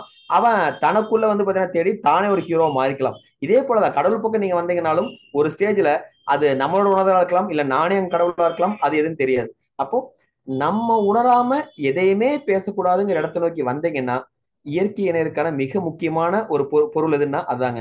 ஏன்னா நீங்க உங்க கருத்துக்களை கொட்டாதீங்க. இன்னைக்கு கொட்டி கிடக்குதுங்க. இன்னைக்கு வந்து கொட்டணும்னா அவ்வளவு தகவல்கள். எதுக்கு எடுத்தாலும் கொட்டப்படுதுங்க ஆக்சுவலா ஓகேங்களா? அப்போ இந்த உணர்ச்சிங்கிற இடத்துல நீங்க யோசிச்சு பாத்தீங்கன்னா எல்லா பக்கமே உணர்ச்சிகள் தூண்டப்படுது. ஃபார் எக்ஸாம்பிள் நடிகன் அப்படிங்கிறது அரசியலுக்கு அப்படியே சொன்னாங்க. ஈவன் தேசப்பட்டிருக்க விஷயம். நான் முந்தானத்தை எல்லாம் பார்த்தோம்னா ஒரு நாலு நாள் மூணு நாள் முன்னாடிங்க அவ்வளவு ஒரு கொண்டாட்டங்கள். இது கொண்டாட்டம் இருக்கணுமா வேணுமா வேண்டாமா அதை பத்தில உள்ள போக வரலைங்க. ஆனா இப்போ நம்ம இங்கிருந்து சந்திரனுக்கு வந்து ஒரு அனுப்பிச்சு வச்சிருக்கோங்கிற ஒரு விஷயம் எல்லாம் இருக்கட்டுங்க முதல்ல நம்ம வந்து முதல்ல பூமியை காப்பாத்தணும்னு ஒரு கேள்வி கேட்டு பாருங்களேன். இங்க அற்புதமான ஒரு விஷயம் இருக்குது. நீங்க சந்திரால வந்து நீங்க அப்படி நாளைக்கு போய் தண்ணி வந்து பார்த்தாலும் அந்த தண்ணிங்கிறத பார்த்தீங்கன்னா இந்தியாவில் கிடைக்க விட ஒரு நூத்துல ஒரு ஒரு பங்கு இருக்குதாங்கிறது கூட தெரியாதுங்க. ஆனா இங்கிருந்து அவ்வளவு செலவு பண்றோம். ஆனா நான் கேட்கறது முதல்ல நம்ம நாட்டை நம்ம நாடுல வேணாங்க நம்ம பூமியை நம்ம வந்து காப்பாத்துறதுக்கான முயற்சிகள் எல்லாமே பண்ணிருக்குமான்னு யோசிச்சு பாருங்களேன். இதை பண்ணாம நம்ம நான் அதை பண்ணிட்டேன் இதை பண்ணிட்டேன் இது இது ஒரு இது ஒரு என்ன சொல்றதுன்னா ஒரு உணர்ச்சி. அந்த உணர்ச்சி தூண்டி விட்டோம்னா போதுங்க எல்லாமே அந்த உணர்வு காட்பட்டுரும். உடனே என்ன ஆகுது தேசப்பட்ட ஒரு நாள் ஒரு நாள் ரெண்டு நாள் அந்த உணர்வு. ஓகேங்களா? இன்னைக்கு எப்படிங்க? அன்னையர் தினம் தந்தையர் தினம் கூட மாத்தி வச்சிருக்கிற மாதிரிங்க எல்லாமே ஒவ்வொரு நாளா வந்து போகுது. இன்னும் கொடுமை எப்படிப்பட்ட விஷயம்னா இந்த நான் சில மனிதர்கள் பேசுவேன் ஏன் நீங்க நல்லதெல்லாம் பண்ணுவீங்களா கேட்கும் சொல்லுவாங்க சார் நான் நல்லதெல்லாம் பண்ண என்ன பண்ண கேட்டா சார் நான் என் கல்யாண நாள் என்னுடைய பிற என் குழந்தையோட பர்த்டேக்கெல்லாம் பார்த்தீங்கன்னா நேரம் அந்த ஆசிரமம் போயிருவாங்க. அந்த ஆசிரமத்துல இருந்து பார்த்தீங்கன்னா உங்களுக்கு இருக்கிற நல்லா எல்லாமே சாப்பாடு போட்டு வருவாங்க. ஓ அப்படியேப்பா ரொம்ப அருமை. சரி அப்ப அதுக்கப்புறம் அப்படின்னு கேட்டோம்னா அதுக்கப்புறம் அடுத்த வருஷம் தான். இதுதான் பதிலுங்க. அதாவது நல்லது செய்தல் அன்பு செய்தல் என்பது இயல்புங்க. நான் ஒவ்வொரு செகண்டுமே நான் ரோட்ல நடந்து போறேன் ஒரு பிச்சைக்காரர் ஒருத்தர் இருக்காரு அவருக்கு நான் அங்க வந்து பணம் கொடுக்குறேன். ஓகே இல்ல உணவு கொடுக்குறேன். இது இயல்பு. ரோட்ல நடந்து போற கீழே ஒரு கல் இருக்குது. அந்த கல்லை வந்து நான் அழுத்தி போட்டு போறேன். நான் ரோட்ல போறேன் ஹார்ன் அடிக்கிறது கூட யோசிக்கிறேன். அடிச்சு அடுத்த டிசப்பாயின்மெண்ட் யோசிக்கிறேன். அமைதியா போறேன். இப்படி நான் பல விஷயங்கள் பண்றேன். அப்ப நல்லது பண்றது என்னன்னு கேட்டீங்கன்னா ஒவ்வொரு கணமுமே நான் இயல்பா மாத்தி பண்றது பேர் தான் நல்லத ஒழிய நான் வருஷத்துக்கு ஒரு நாள் பண்றதுங்கிறது நல்லது இல்லைங்க. இன்னைக்கு தேசப்பட்டுல இருந்து எல்லாமே உணர்ச்சிகள் தூண்டக்கூடிய ஒரு நாள் கொண்டாட்டமா மாறி நிக்குதுங்க ஆக்சுவலா இன்னும் நான் முதல்ல சொன்னேன் தேசப்பற்றுங்கிற விஷயம் எனக்கு கிடையாதுங்க. நான் நேசிக்கிறது இந்த உலகத்தைங்க. ஏன்னா யாது ஊரே யாவரும் கீழுங்கிற கான்செப்ட் உள்ள இருக்கிறனால நான் எல்லா மனிதனையும் நேசிக்கக்கூடிய விஷயம் எல்லா ஊரையும் நேசிக்கக்கூடிய விஷயத்த வந்து ஆழமா மனசுல கொண்டு வர்றோம். அப்போ இந்த இடத்துல ஒரு அரசாங்கத்துல இருந்து எல்லாருமே ஒரு ஒரு நாளை பார்த்து திரும்பிக்கிறோம். சரி இன்னும் அடுத்த விஷயம். சரி இப்போ நம்ம நிலாவுக்கு போயிடுச்சு இப்போ அதனால வந்து ஒரு எளிய மனிதனுக்கு என்ன கிடைக்க போகுதுன்னு ஒரு கேள்வி கேட்டு பாருங்க. அதுக்கான பதில் இன்னை வரைக்கும் நம்மளுக்கு தெரியாதுங்க. அப்போ ஒரு இடத்தை நோக்கி ஒரு இதை பண்ணும் பொழுது உடனே நம்ம கொண்டாடுறோம் பார்த்தீங்களா? மிக பெரும் கொண்டாட்டம். அதற்கும் ஒரு படம் தலைவர் படம் ரிலீஸ் ஆக போதுரா அப்படின்னு சொல்லி முதல் நாள் ஓடுறான் இல்லைங்க. இந்த ரெண்டு பேத்துக்கும் என்ன வித்தியாசங்கிறதா கேட்கறேங்க. ஸோ அப்போ இதை நான் இப்பயே சொல்றேங்க. மெய்ப்பொருள் உணர்வது அறிவு. எதா இருந்தாலும் சரி அது அரசாங்கம் தூண்டிவிட்டாலும் சரி தனி மனிதர்கள் தூண்டிவிட்டாலும் சரி எனக்குள்ள நான் ஆழமான உணரணும் இது எதற்கு? இது எதற்கு கொண்டாடப்படுது? இதுல என்ன இருக்குங்கிற விஷயத்தை நான் புரிஞ்சுட்டேன்னு வைங்களேன் நான் இந்த உலகத்துல மற்ற மனிதர்களோட வாழ்ந்தாலும் நான் ஒரு ஞானியா நான் ஒரு திறமையான ஒரு மனிதனா இன்னும் சொல்ல போனா இயற்கையோட இணைந்த மனிதனா என்னால வந்து பயணம் செய்ய முடியும். ஆனா இதை விட்டுட்டு நம்ம ஆனா அது சொல்றோம்லங்க ஒரு நடிகனை பார்த்து ஏன்னா நடிகனை பின்னாடி ஓடுறேன்னு சொல்லி மண்டையில அடிச்சுக்கிறேங்க. ஓகேங்களா? ஆனா நம்ம எதுக்கு பின்னாடி ஓடிட்டு இருக்கோங்கிற விஷயத்தை நம்ம ரியலைஸ் பண்றதே கிடையாது. சில இடத்துல பணத்துக்கு பின்னாடி கூட நம்ம ஓடிட்டு இருக்கலாம் அதுவும் அங்க நடக்கலாங்க. ஓகேங்களா? அப்போ இந்த இடத்துல முதல்ல நான் என்ன ரியலைஸ் பண்ணுங்க எந்த ஒரு இடத்துலயுமே இயற்கையிலிருந்து பிரியாத ஒரு ஆளா நான் மாறணும் அப்படின்னா நீங்க முதல்ல புரிய வேண்டியது இத்தனை நாள் நீங்க இதெல்லாம் கத்துட்டு வந்தீங்களோ அதெல்லாமே இலக்க தயாராக்கணும். அதை வந்து நான் ஜீரோ பண்ண அடிச்சு துவைக்கணுங்க. எனக்கு ஒன்றும் தெரியாதுங்கிற விஷயத்த அடிச்சு துவைக்கணும். இல்ல இதெல்லாம் ஒண்ணும் இல்ல. நான் எனக்கு வந்து எனக்கு மெய்ப்பொருள் வேணும். நான் இது என்னங்கிறது கண்டுபிடிக்கணுங்கிற விஷயத்த நான் உணர்ந்தேன்னு வைங்களேன் அது உங்களுக்கு மிகச்சிறந்த மாற்றத்தை ஏற்படுத்தும். இன்னொரு ஃபார் எக்ஸாம்பிள் இப்ப நான் உடலை பத்தி உணரணும்னு வைங்களேன் நான் என்ன பண்ணணும்னு யோசிச்சு பாருங்களேன். நீங்க உடலை பத்தி உணரணும்னா எஸ் சார் நான் என்ன பண்றேன்னா இங்க கோயம்புத்தூர்ல கூடிய மிகப்பெரிய ஒரு மருத்துவமனையை போய் நான் வந்து பாக்குறேன். மருத்துவர்ல போய் நான் வந்து பாக்குறேன். அப்படின்னு சொல்லிட்டு உணர உணர முடியுமான்னு கேட்டா சத்தியமா கிடையாதுங்க. அதே சமயத்தில் இன்னொரு பக்கம் இல்ல சார் எங்களுக்கு வந்து ஆங்கில மருத்துவம் வேண்டாம். நான் வந்து பாத்தீங்கன்னா ஒரு சித்த மருத்துவத்திலேயோ ஒரு ஹோமியோபதியிலயோ வந்து நான் உடலை உணர்ந்துக்கிறேன். அங்கேயும் நீங்க கண்டுபிடிக்க முடியாது. உடலை உணரணும்னா நீங்க உங்க உடல் கூட பேசணும். உங்க உடல் என்ன பண்ணுது? என்ன பிரச்சனை பண்ணுது? என்ன நடக்குது? எதனால இந்த பிரச்சனை நடக்குது? ஒண்ணு இல்லைங்க. இன்னைக்கு சொல்றேங்க. உங்க உடல் கூட நீங்க பேசி பாருங்க. அங்க உடல் உங்களுக்கு நிறைய விஷயங்கள் கூறப்படும் சொல்லப்படும். இதுதான் விஷயங்க. இப்போ சில விஷயங்கள் நமக்கு ஈஸியா புரியும். ஓகேங்களா? ஃபார் எக்ஸ் ஆனா அந்த புரிதல வந்து சில குழப்பங்கள் வந்து பண்ணி விட்டனால நம்ம தப்பா எடுத்துக்கிறோம். ஓகேங்களா? ஃபார் எக்ஸாம்பிள்ங்க ஒரு ரெண்டு நாள் இரவு தூங்காம ஏதோ ஒரு வேலையில வந்து நீங்க வேலை செஞ்சுக்கிட்டே இருக்கீங்கன்னா அடுத்த மூணாவது நாள் உங்களுக்கு தலைவலிக்க ஆரம்பிக்கும். கண்ணு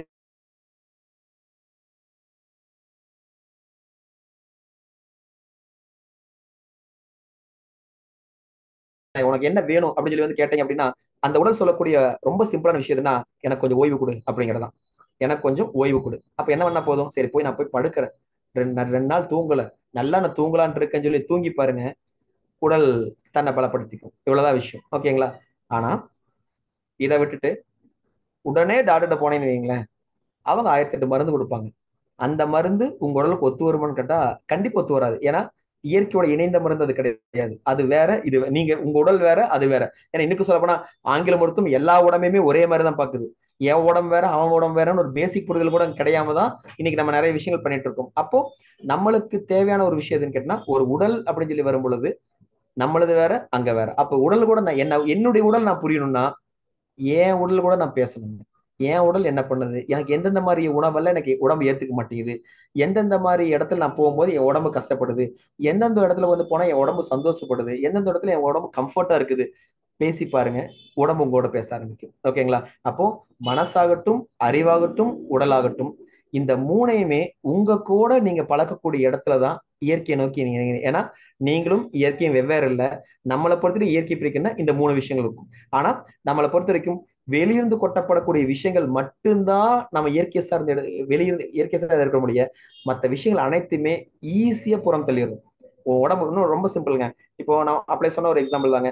நான் மலையில போறேன். நான் மலையில வந்து திடீர்னு வந்து மழை வந்துருச்சு நினைக்கிறேன் இப்ப நினைஞ்சோன்ன எனக்கு உடனே சளி பிடிக்குது அப்படின்னு சொல்லும் பொழுது உடனே நம்ம அங்க நினைக்கக்கூடிய விஷயம் எதுன்னு கேட்டீங்கன்னா சளி பிடிச்சிருச்சு மலையில் நனைஞ்சனால சளி பிடிச்சிருச்சு. ஓகேங்களா? அப்போ இந்த இடத்துல மெய்ப்பொருள் இப்போ இதே மருத்துவம் என்ன சொல்லணும்னா ஏங்க மலையில நினைச்சீங்க? பாருங்க சளி பிடிச்சிருச்சு. இனிமேல் குழந்தை மலையில நிலையாம பாத்துக்கோங்க அப்படிங்கிறது அவங்களோட பதிலா இருக்கும். ஓகேங்களா? ஆனா மெய்ப்பொருள் காண்பது.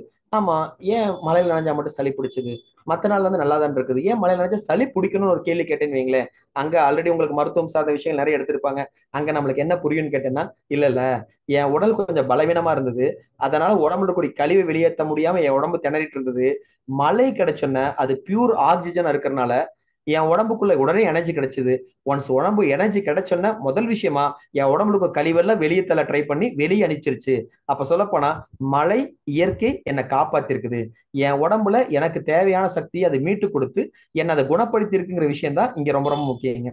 அப்போ இயற்கையோட உணைந்து புரியணும் அப்படின்னா முதல்ல உடலை பத்தி புரியணும் முதல்ல இந்த விஷயம் தான் இதே விஷயம் தான் ஒவ்வொன்றுக்குமே நடக்கிறது. இப்போ ஒரு கேன்சர்ல இருந்து ஆரம்பிச்சு எந்த விஷயத்துக்குமே நீங்க இயற்கையை பத்தி உடல்ல உணர்ந்தீங்கன்னா பண்ணிட முடியும். ஃபார் எக்ஸாம்பிள் கட்டி ஏன் உருவாகுது அப்படின்னு யோசிச்சோம்னா ரொம்ப சிம்பிள் தான். என் உடம்புல ஒரு கட்டிகள் உருவாகக்கூடிய இடம் எதுன்னா ரச ரசாயன கட்டிகள் தான் அந்த கேன்சர் அப்படிங்கிற விஷயமா மாறுதுங்க. அப்ப என் உடம்புல கழிவுகள் சேர்க்கப்படுது. எப்படி? ஏதோ ஒரு மூலமா ரசாயனங்கள் பார்த்தீங்கன்னா சேர்க்கப்படுது. அந்த ரசாயன கழிவை என் உடல் மிக சாதாரணமா ஒரு கண்ணீர் மூலமாவோ ஒரு ஒரு கோலை மூலமாகவோ இல்ல ஒரு சளி மூலமாகவோ இல்ல ஒரு மோஷன் மூலமாகவோ யூரின் மூலமாகவோ வெளியேற்ற முடியாது. அப்ப அப்படி வெளியேற்றப்பட முடியாத ஒரு விஷயத்த உடம்பு என்ன பண்ணுதுன்னா ஒரு இடத்துல கொண்டு போய் பத்திரமா சேர்த்து வைக்குது. ஏன்னா இது நம்ம உடம்புல சாதாரணமான பிரச்சனையாயிரும் அதனால இது தனியா வச்சுக்கலன்னு வைக்குதுங்க. அதை நம்ம எப்படி ரிமூவ் பண்ணணும்னு கேட்டோம்னா நம்ம நிறைய இயற்கை சார்ந்த வைத்தியங்கள் இருக்குதுங்க. ஒன்றும் சொல்ல போனா ஒரு சில இடத்துல பசிய பட்டினிங்கிறதே மிகப்பெரிய இடத்துல பாத்தீங்கன்னா அந்த அந்த கட்டி வந்து குணமாக்கக்கூடிய தன்மை நிறைய மனிதர்கள் வந்து பண்ணிருக்காங்க ஓகேங்களா அப்படிங்கும் பொழுது நான் அந்த இடத்துல என்ன பண்ணணும்? அதை கவனிக்கணும். அதுக்கான விஷயத்த நான் செயலாற்றணும். அதை விட்டு போட்டு உடனே போய் நான் வந்து குத்தி விட்ட அடுத்த நிமிஷம் அந்த ரசாயன கழிவு உடம்பு ஃபுல்லா பரவ ஆரம்பிக்குது. அதுக்கப்புறம் நம்மளோட வாழ்க்கை எப்படி மாறுதுன்னு சொல்லி நம்ம நிறைய பேர் வந்து பார்த்துருக்கலாங்க. அப்போ இங்கேயும் நம்ம உடம்ப பத்தி புரிஞ்சுக்காத பண்ணக்கூடிய தவறுகள் தான் நம்ம உடலை சீர சிதைக்குதுங்கிற விஷயத்தையும் சீரழிக்குதுங்கிற விஷயத்தையும் புரிஞ்சுட்டோம்னா வந்து போதுங்க. அப்போ உடல் என்பது சீரழியுது அறிவு என்பது சீர்கெடுதுங்க மனம் என்பது சீர்கெடுது. மனம் சீர்கெடுது வந்து அறிவுலாம் நடக்குது. ஏன்னா இன்னைக்கு நமக்கு அப்படியே சொன்ன மாதிரி தான் மீடியாக்கள் வந்து நிறைய அறிவு கொண்டு வந்து உள்ள கொட்டுறாங்க. அந்த அறிவை பார்க்கும்போது ஃபார் எக்ஸாம்பிள் வந்து போன வாரம் வந்து ஒரு வீட்டுக்கு போகும்போது ஒரு விளம்பரம் ஓடிட்டு இருக்குங்க ஏன்னா நம்ம டிவி இல்லாதனால இன்னொரு வீட்டுல பார்த்த ஒரு விளம்பரம். அந்த விளம்பரம் வந்து பாத்தீங்கன்னா ஹார்லெஸ்க்கான விளம்பரம். ஸோ அது என்ன சொல்ல வருதுன்னா முப்பது வயசு ஆயிடுச்சுங்களா பெண்களுக்கு.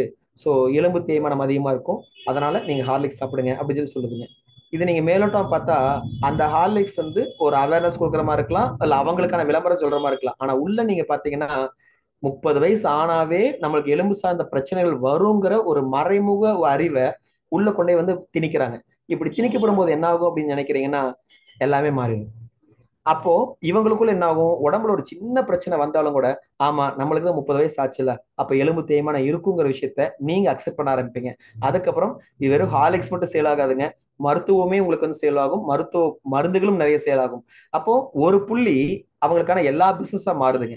ஏன் மாறுதுன்னு கேட்டீங்கன்னா உங்களால உங்களோட மெய்ப்பொருளை நீங்க தேடலை.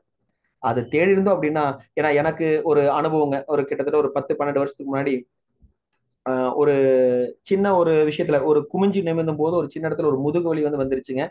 அதெல்லாம் பார்த்தீங்கன்னா நிறைய நான் டிராவல் பண்ணுவேன். பைக்ல வந்து அங்கங்கெல்லாம் டிராவல் பண்ணும்போது முதுகு வலிங்கிறது ரொம்ப இருந்துச்சு. குமியும் கூட முடியாதுங்கிற இடத்துக்கு வந்து வந்துருச்சுங்க. அப்போ ஒரு தஞ்சாவூர்ல பார்த்தீங்கன்னா ஒரு மருத்துவருங்க சித்தர் அப்படின்னு சொல்லி அவர் பேரு சித்தர் தாங்க. அவரை நான் வந்து பார்க்க போயிருந்தேன். அவரை பார்க்க போகும்போது நான் அவர்கிட்ட சொன்னேன் இந்த மாதிரிங்க அப்படின்னு சொல்லும்போது அவர் ரொம்ப விளையாட்டா சொன்னாரு. ஓ நீங்க ரொம்ப பைக் ஓட்டிட்டீங்களா? அதனாலதான் உங்களுக்கு முதுகு வலி இருந்துச்சுன்னு கேட்டாரு. ஆமாங்க அப்படின்னு அவர் சிம்பிளா சொன்ன பதில் ஏமா அப்ப அந்த காலத்துல பாத்தீங்கன்னா குதிரை ஓட்டினாங்க. இப்ப இருக்கிற மாதிரி சாக் அப்சர்வ்ல கிடையாது. குதிரை ஓட்டிட்டே இருந்தான். அறுபது வயசு வரைக்கும் போரெல்லாம் பண்ணா அதெல்லாம் பண்ணா அப்ப அவனுக்கெல்லாம் முதுகலி வந்திருக்காதான்னு கேட்டாங்க. இதோட பதில் புரிஞ்சிருக்கும்னு நினைக்கிறேன். இன்னும் சொல்ல போனா அந்த நீங்க குதிரையில ஏறி உட்கார உட்கார உட்கார அந்த முதுகு எவ்வளவு பெரிய ப்ரெஷர் இருக்குன்னு யோசிச்சு பாருங்களேன். அப்ப அவர் என்ன எங்கிட்ட வந்து முதல் ட்ரீட்மெண்ட் அவர் உடச்சுட்டது என்னன்னா நீ முதல்ல அந்த கழிவு தூக்கி வெளியே போடுது அதாவது வண்டி ஓட்டுனால எனக்கு பேக் பெயின் வந்துருச்சுங்கிற அந்த கழிவு தான் நிறைய விஷயம். ஸோ அந்த கழிவு தூக்கி முதல்ல வெளியே போடு. வெளியே போட்டேன்னா நான் இப்போ கொடுக்குற ட்ரீட்மெண்ட் ஒர்க் ஆகணும்னு சொல்லி பார்த்தீங்கன்னா ஒரு ரொம்ப ரொம்ப சிம்பிளாக ஒரு ரெண்டு ட்ரீட்மெண்ட் படுத்துட்டு இந்த மாதிரி பண்ணுறத பற்றி சொல்லி கொடுத்தாருங்க. கரெக்டாக பத்து நாளுங்க. கிட்டத்தட்ட மூணு மாதம் அந்த வழியில் இருந்தது. வெறும் பத்து நாளில் அந்த வழிங்கிறது வந்து முழுசா வெளியே வந்துச்சு. அப்போ தான் புரிஞ்சுது நம்மளுக்கான உடம்பு சரியா இருக்கான மிக பெரும் தடையே யாரா இருந்திருக்கோம்னு கேட்டோம்னா நம்ம தான் இருந்திருக்கோங்கிற விஷயம் தான் அங்க புரிய ஆரம்பிச்சதுங்க. அப்போ அதுல இருந்து ஒவ்வொரு தடையா உடைக்க ஆரம்பிச்சோம். அப்போ நீ இன்னொருத்தர் சொல்றத நான் நம்புறதை விட எனக்கான மெய்ப்பொருளை நான் வந்து ஆழமா வந்து போகக்கூடிய இடத்தை நோக்கி நம்ம நகர்னாங்கிற விஷயம் தான் இங்க வந்து முக்கியங்க. அப்போ எனது மனம் தெளிவாகுது மெய்ப்பொருள் காண்பதால் அறிவு தெளிவாகுது மெய்ப்பொருள் காண்பதால். இன்னும் சொல்ல மெய்ப்பொருள் காண்பது அறிவுன்னு சொல்லியாச்சு. ஏன்னா இந்த அறிவு சரியாச்சுன்னா மனம் தெளிவடையும். அறிவு சரியாச்சுன்னா உடல் தெளிவாக வேலை செய்யும். அப்போ இந்த மூன்றுமே எனக்கு வந்து தெளிவாகும் பொழுது நான் இயற்கையை நோக்கிய பயணத்துல அடுத்த பயணத்தை நான் மேற்கொள்ள ஆரம்பிக்கிறேன். ஏன்னா மெய்ப்பொருள் கண்டால் மட்டும்தான் உங்களால் இயற்கையோட இணைய முடியும்.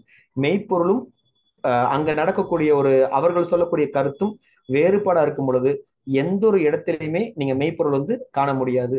சோ உணர்தல் இருந்தால் மட்டும்தான் நான் பேசுவேன் அப்படிங்கிற இடத்துக்குள்ள வந்துட்டீங்க அப்படின்னா உங்களோட பேச்சு வந்து குறையுங்க.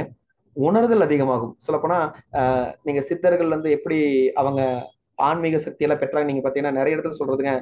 அவங்க போய் தியானம் பண்ணாங்க தியானம் பண்ணாங்க சொல்லுவாங்க. நான் தியானத்தையும் கூட வேற எப்படி பாக்குறேன்னா மௌனமா இருந்தாங்கிறத உண்மைங்க. ஏன்னா மௌனம் பல இடத்துக்கான தீர்வை நம்மளுக்கு கத்துக் கொடுக்கும். மௌனமா இருத்தல் தான் மிகச்சிறந்தது மௌனமா இருத்தல் எது வரைக்கும் என்பா அந்த மெய்ப்பொருள் காண்பது வரைக்கும் நான் மௌனமா தான் இருக்கிறேன். அது வரைக்கும் நான் பேசுவதில்லை. ஒன்ஸ் பேசி முடிச்சதுக்கு அப்புறம் ஒன்ஸ் அதை நான் உணர்ந்து முடிச்சதுக்கு அப்புறம் எனக்கு வாய்ப்பு இருந்தா தேவையான மனிதர்கிட்ட மட்டும் அங்க பேசுறோம் இல்லையா அங்கேயும் நான் எல்லா பக்கமே பேசுறது இல்லை அப்போ மெய்ப்பொருள் காண்பது வரைக்கும் நான் பெ- பெருசா பேசக்கூடிய விஷயங்கள் இல்ல. எனக்கான கருத்துக்கள் எதையுமே நான் வந்து பாத்தீங்கன்னா மனசுல இது பண்ண மாட்டேன். கொண்டு வந்து கொட்டக்கூடிய விஷயம் நான் பேச மாட்டேங்கிற ஒரு முடிவுக்கு வந்துட்டீங்கன்னா இயற்கை இணையக்கூடிய அடுத்த படியை நோக்கி நீங்க நகர ஆரம்பிக்கிங்கிறது இங்க உண்மைங்க. அப்போ இன்னைக்கு நம்ம பார்க்க வந்த விஷயங்கள் ஆல்மோஸ்ட் இது எல்லாமே கவர் ஆயிருக்குதுங்க. கூட எண்ணம் சொல் செயலுங்கிறத நம்ம வாய்ப்பு இருந்தால் அடுத்த ஒரு முறையில வந்து பார்த்தீங்கன்னா அதை எப்படி இயற்கை கூட வந்து இணைகிறதுங்கிற விஷயத்த அடுத்த விஷயத்துல இருந்து பார்த்துக்கலாங்க. ஸோ இன்னைக்கு சொல்ல வேண்டிய விஷயங்கள் ஆல்மோஸ்ட் நான் முடிச்சிட்டேன்னு நினைக்கிறேங்க. அஹ் மதன் ஐயா முடிச்சுக்கலாங்களா?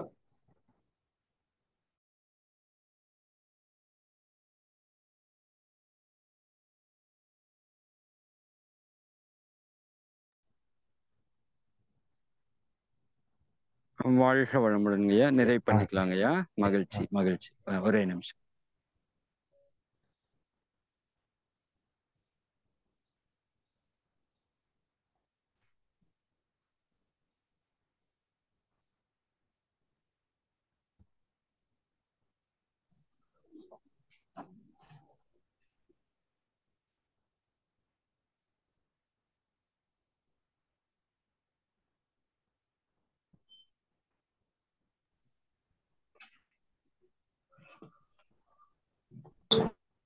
வாழ்க வளமுடன் வாழ்க வளமுடன்.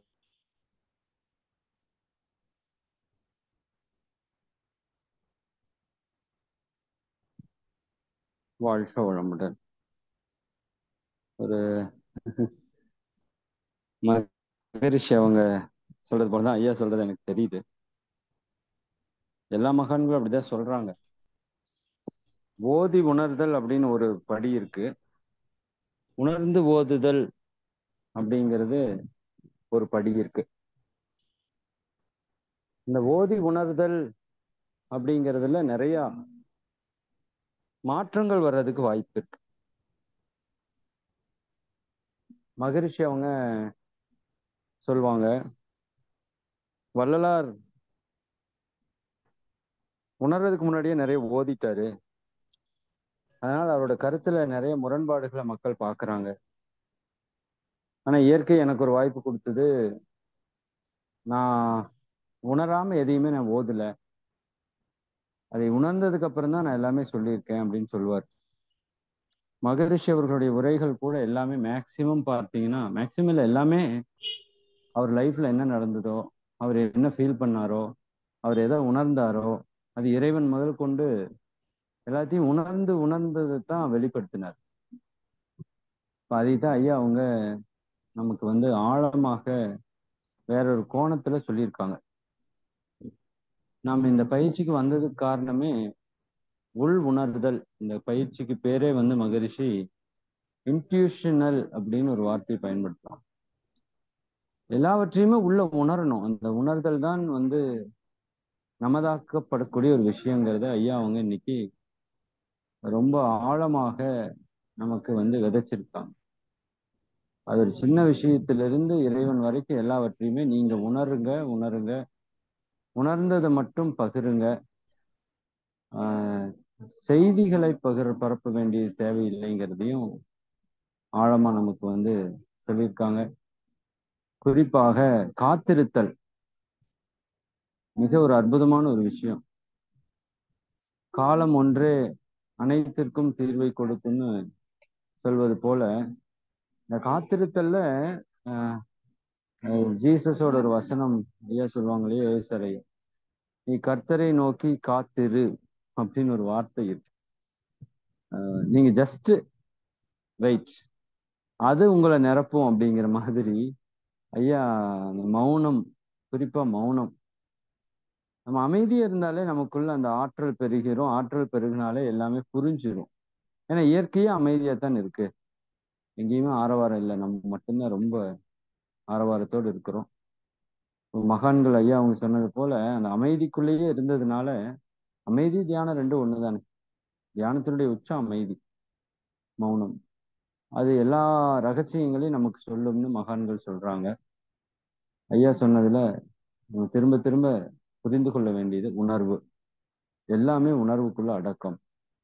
அப்ப அந்த உணரக்கூடிய நிலைக்கு வர்றப்ப தான் அந்த மெய்ப்பொருள் காணக்கூடிய அறிவு நிலையை நம்ம எழுதுகிறோங்கிறத மிக தெளிவாக கொடுத்துருக்காங்க. எங்கெங்கெல்லாம் நம்ம சிக்கிக்கிறோங்கிறதையும் தெளிவுபடுத்தியிருக்காங்க.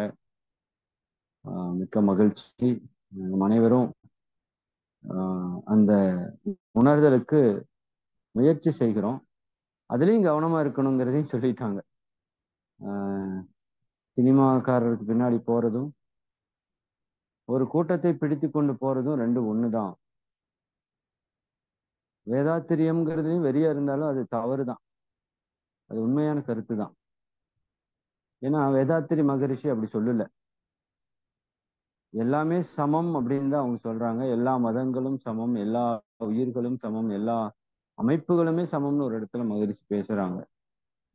உண்மையாலுமே வேதாத்திரியத்தில் இருக்கிறவங்க அந்த சம நோக்குல இருக்கக்கூடிய தன்மையில் இருப்பாங்க. அப்படிங்கிறது உண்மைதான். நம்ம பலரையும் பார்த்திருக்கிறோம். அந்த விதத்துல நாம் ஒரு சரியான மார்க்கத்திலே சென்று கொண்டிருக்கிறோம். ஆனால் உணர்தல் எவ்வளவு இருக்குதுங்கிறத இன்னைக்கு ஒரு கேள்வியா ஐயா வச்சிருக்காங்க.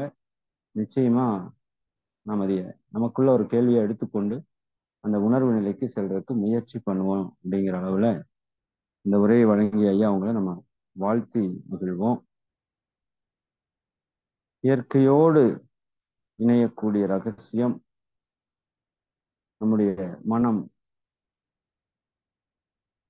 அனைத்தோடும் இணைந்து அந்த உணர்வை பெறுதல் அப்படிங்கிறத ஐயா தெளிவாக விளக்கியிருக்கிறார்கள். இந்த தெய்வீக சிந்தனையை வழங்கிய உயர் திரு பாலமதன் ஐயா அவர்கள் வாழ்க வளமுடன்.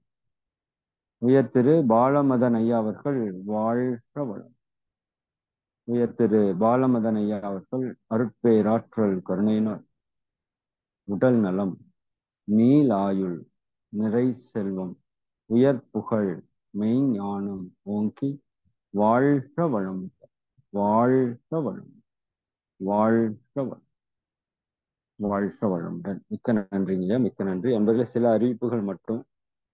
நாளை நம்முடைய இயற்கை மருத்துவர் உணவியல் நிபுணர் பகவத் ராணி அம்மா அவர்கள் அவர்களுடைய மறைந்திருக்கும் ரகசியங்கள் அப்படிங்கிற தலைப்புல அவங்களும் இயற்கையில இருக்கிற நிறைய ரகசியங்களை நமக்கு அவங்க உணர்ந்த விஷயத்தை தான் சொல்றாங்க. அவங்களும் எல்லாமே செய்து பார்த்து அனுபவத்துல பெற்ற விஷயத்தை நமக்கு நிறைய பகிர்றாங்க. வாழ்க்கை முறையை பற்றி. இந்த வாய்ப்பை நீங்க வந்து நல்லா பயன்படுத்திக்கணும் ஆஹ் நாளை மதியம் எப்பொழுதும் போல நிகழ்வுகள் நடைபெறும். ஞாயிற்றுக்கிழமை மதியம் பன்னிரெண்டு மணிக்கு மாணவர்கள் பயிற்சி இருக்கிறது. வாய்ப்புள்ள அன்பர்கள் அனைவரும் இணைந்து ஆன்ம உயர்வு பெறுவோம் என்று கூறி இப்போ கேள்வி பதில் நிகழ்வுக்கு செல்லலாம். இப்போ ஐயா பேசியதுல அல்லது வாழ்க்கையை பற்றிய ஐயப்பாடுகள் நீங்க ஏதாவது இருந்ததுன்னா கேட்கலாம். ஐயா இன்னைக்கு நிறைய வந்து தூண்டி விட்டுருக்காங்க. நாம ஒரு டிவி மூலமா இந்த சமுதாயத்துல நாம எப்படி அடிக்ட் ஆகுறோம் அப்படிங்கிறத பத்தியும் டச் பண்ணியிருக்காங்க. நீங்க அது சம்பந்தமா வேற ஏதாவது கேள்விகள் இருந்தா ஐயா கிட்ட கேட்கலாம். ஐயா வாழ்த்து வளமுடன் ஐயா. ஆஹ் வாழ்க வளமுடன்மா. அன்பர்கள் வந்து ஐயா கிட்ட கேள்வி கேட்கறவங்க ஹேண்ட் ரைஸ் பண்ணலாங்கம்மா.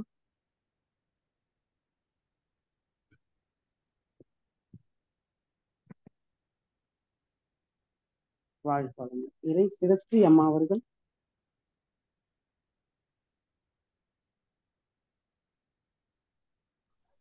ஐயா வாழ்க வளமுடன்.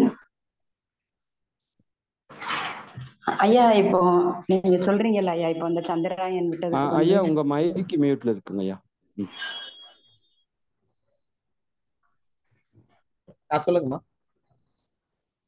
நீங்க இந்த சந்திராயன் இதுக்கு வந்து மக்கள் எல்லாமே ஒரு உணர்ச்சி நிலை அப்படின்னு சொன்னீங்கல்ல ஐயா இப்போ அருத்தந்தை சொல்றதும் இந்த விஞ்ஞானமும் மெய்ஞானமும் அப்படின்னு ம், ம். அதாவது விஞ்ஞானத்தோட கூடிய மெய்ஞானம் அப்படின்னு. இப்ப வந்து பூமியில வந்து பஞ்சபூதங்களும் சரியா இருக்கிறதுனால இறைவனே படை ஒரு ஒரு ஒரு ஒன்னொன்னா வந்தது. அது இயல்பு. யாரும் கண்டு யாரும் அதுக்காக செலவு பண்ணல எதுவும் பண்ணல. இயற்கையாவே எல்லாமே வந்தது. அப்ப அதே மாதிரி இவங்க நான் என் அறிவை கொண்டுட்டு அந்த இறைவனை மறந்து நான் அதை கண்டுபிடிக்கிறேன் அப்படின்னு போறாங்கல்ல ஐயா இறைவன் நினைச்சிருந்தா அங்கேயும் பஞ்சபூதம் சரியா இருந்தா அங்க. தேவையானதை படைச்சிருப்பாங்கல்ல ஐயா உண்மைங்க உண்மைங்க. தான் கரெக்ட் தாங்க. ஏன்னா இன்னைக்கு வந்து ஒரு ரெண்டு வார்த்தை இருக்குதுங்க. படைத்தல்னு ஒண்ணு இருக்குது கண்டுபிடித்தல்னு ஒண்ணு இருக்குதுங்க. மனிதன் வந்து கண்டுபிடிக்க மட்டும்தான் முடியுங்க. உருவாக்க முடியும். ஆனா இறையை பொறுத்த வரைக்கும் படைத்தல் என்பது அங்க மட்டும்தாங்க. ஹெச் டூஓ ரெண்டு ஹைட்ரஜனும் ஒரு ஆக்சிஜனும் சேர்ந்தது நீர்னு சொல்லி சொல்ல முடியுங்க. பட் அந்த ரெண்டு ஹைட்ரஜனையும் ஆக்சிஜனையும் ஒரு மனிதனால உருவாக்க முடியாது ஆக்சுவலா அதாவது ஜீரோல இருந்து ஒன்னை வந்து கிரியேட் பண்ண முடியாதுங்க ஆக்சுவலாங்க நம்ம எல்லாமே ஒன்றிலிருந்து இன்னொன்றை மாத்திரங்கிறத உண்மைங்க. பட் அதுக்கு தான் சொல்றேங்க. அவ்வளவு பெருமைகள் நம்மளுக்கு தேவையில்லைங்கிறத உண்மைங்க. ஐயா அப்போ அவ்வளவு செலவு அது அது தேவையில்லை அதாவது அவங்க விஞ்ஞானி விஞ்ஞானிகள் கண்டுபிடிச்சது உண்மைதான். ஆனா அவ்வளவு செலவு தேவையில்லை அதை வந்து நம்ம ஆக்கப்பூர்வமா நீங்க சொன்ன மாதிரி இந்த பூமியில எவ்வளவோ காக்க வேண்டியது இருக்குது படைக்கப்பட்ட உயிரினங்கள். எவ்வளவு கஷ்டப்படுறாங்க மனிதர்கள் எவ்வளவு வேலை இல்லாம திண்டாடிட்டு இருக்கிறாங்க அது. ஆக்கப்பூர்வமான ஒரு இதுக்கு பண்ணணும் அப்படிங்கிறது ஐயா. இன்னொரு கேள்விங்க ஐயா நீங்க வந்து இப்போ இப்ப நிறைய விஷயங்கள் வேதாத்திரியத்துல வாங்கியிருக்கிறோம். ஆனால் நீங்க அது எல்லாத்தையுமே நம்ம உணரணும் அப்படிங்கிறீங்க. அதாவது அமைதி நிலை அதாவது blank ஆயிடணும் அப்படிங்கிறீங்க.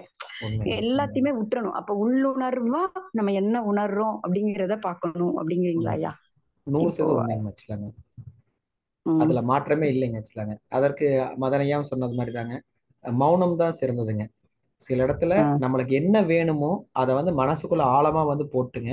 அமைதியா உட்காரும் பொழுதே அது நம்மளை நோக்கி வர ஆரம்பிக்கும். இதுதான் இயற்கையோட பிரபஞ்ச விதியே இதுதாங்க. உனக்கு எது தேவையோ அது கிடைக்குங்க. ஆனா அந்த தேவைங்கிற விஷயத்த நம்ம ஆழமா உணர்றோமாங்கிற விஷயம் தான் இங்க ரொம்ப முக்கியங்க ஆக்சுவலாங்க அப்போ என்னால கடவுளை உணரணும் அப்படிங்கிற ஒரு ஆழத்துல மட்டும் நீங்க வந்து போட்டுட்டு அமைதி இருந்தீங்கன்னா போதும். கடவுளை உணரணும்னு சொல்லி நீங்க புக்கு படிக்க ஆரம்பிச்சீங்கன்னா அங்க கடவுளை உணர முடியாதுங்க. இதுதான் நம்ம சொன்ன அந்த வித்தியாசத்துக்கிற முக்கியங்க. அது அந்த ஃப்ரீக்வன்சி குறையும் போது நமக்கு தேவை. இப்போ ஐயா நீங்க எல்லாம் இருக்கிறீங்க. இப்போ நீங்க வந்து நிறைய எங்களுக்கு கருத்துக்கள் கொடுக்குறீங்க. இப்போ நீங்க மௌன நிலைக்கு போனா நாங்க அதை உணர முடியாது இல்லையா இப்போ நீங்க சொல்றீங்கல்ல இறைவனை உணர்ந்துட்டா மௌனம் தான் அங்க மொழியாகும் அப்படிங்கிறாங்க. இப்போ. மதனையாவே இருக்கட்டும் நிறைய மக்கள்கிட்ட இந்த இதை நீங்க ரெண்டு பேருக்கு பேர் கூட அதனால ஒத்து வருது பாருங்க உங்களுக்குள்ள. மக்களுக்கு இந்த அறியாமையில இருந்து அவங்கள கொண்டு வரணுங்கிறதுக்காக பேச ஆரம்பிக்கிறீங்க. இப்ப நீங்க சொல்ல ஆரம்பிக்கிறீங்க. இப்போ மௌனத்துக்குள்ள போறீங்க அப்படின்னா என்ன நிலை அது? அது எப்படி வரும்? இது அதான் இது எப்படின்னு கேட்டோம்னா இது இதான் இப்பயே சொல்லிடுறேங்க. இது உங்களால உணர்தல் மூலமா மட்டும்தான் வருங்க ஆக்சுவலாங்க. வேறபடி இது வராதுங்க. அந்த உணர்தல் வர்றதுக்கான ரொம்ப முக்கியம் என்னன்னா இந்த மௌனம் சொல்லும்போது விவேகானந்தர் வந்து ஒரு இடத்துல சொல்லுவாருங்க.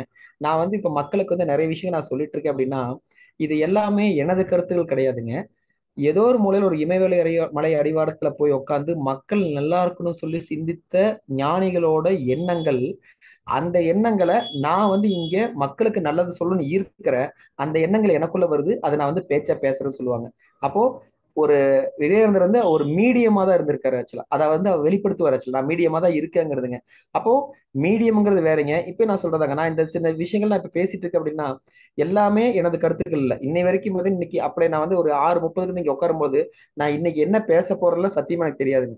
பட் வந்து உட்கார்ந்ததுக்கு அப்புறம் என்ன விஷயங்கள் உள்ள வருதோ அதை நான் வந்து முழுமையா நான் வந்து அப்படியே எடுத்துக்கிறேங்க அவ்வளவுதாங்க.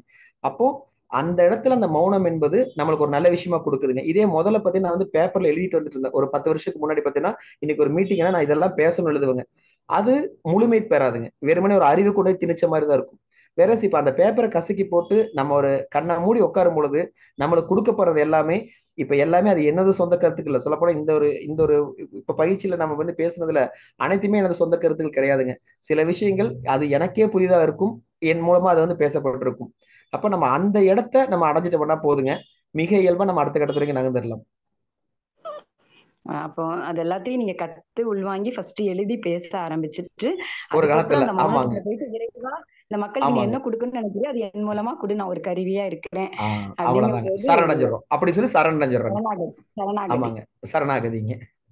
நன்றி நன்றியா சிறப்பு ரொம்ப சிறப்பா இருந்தது. ரொம்ப வியப்பாவும் இருந்தது. நன்றியா வாழ்க மிக்க நன்றி அம்மா. வாழ்க வளமுடன். அடுத்ததாக லதா அம்மா அவர்கள்.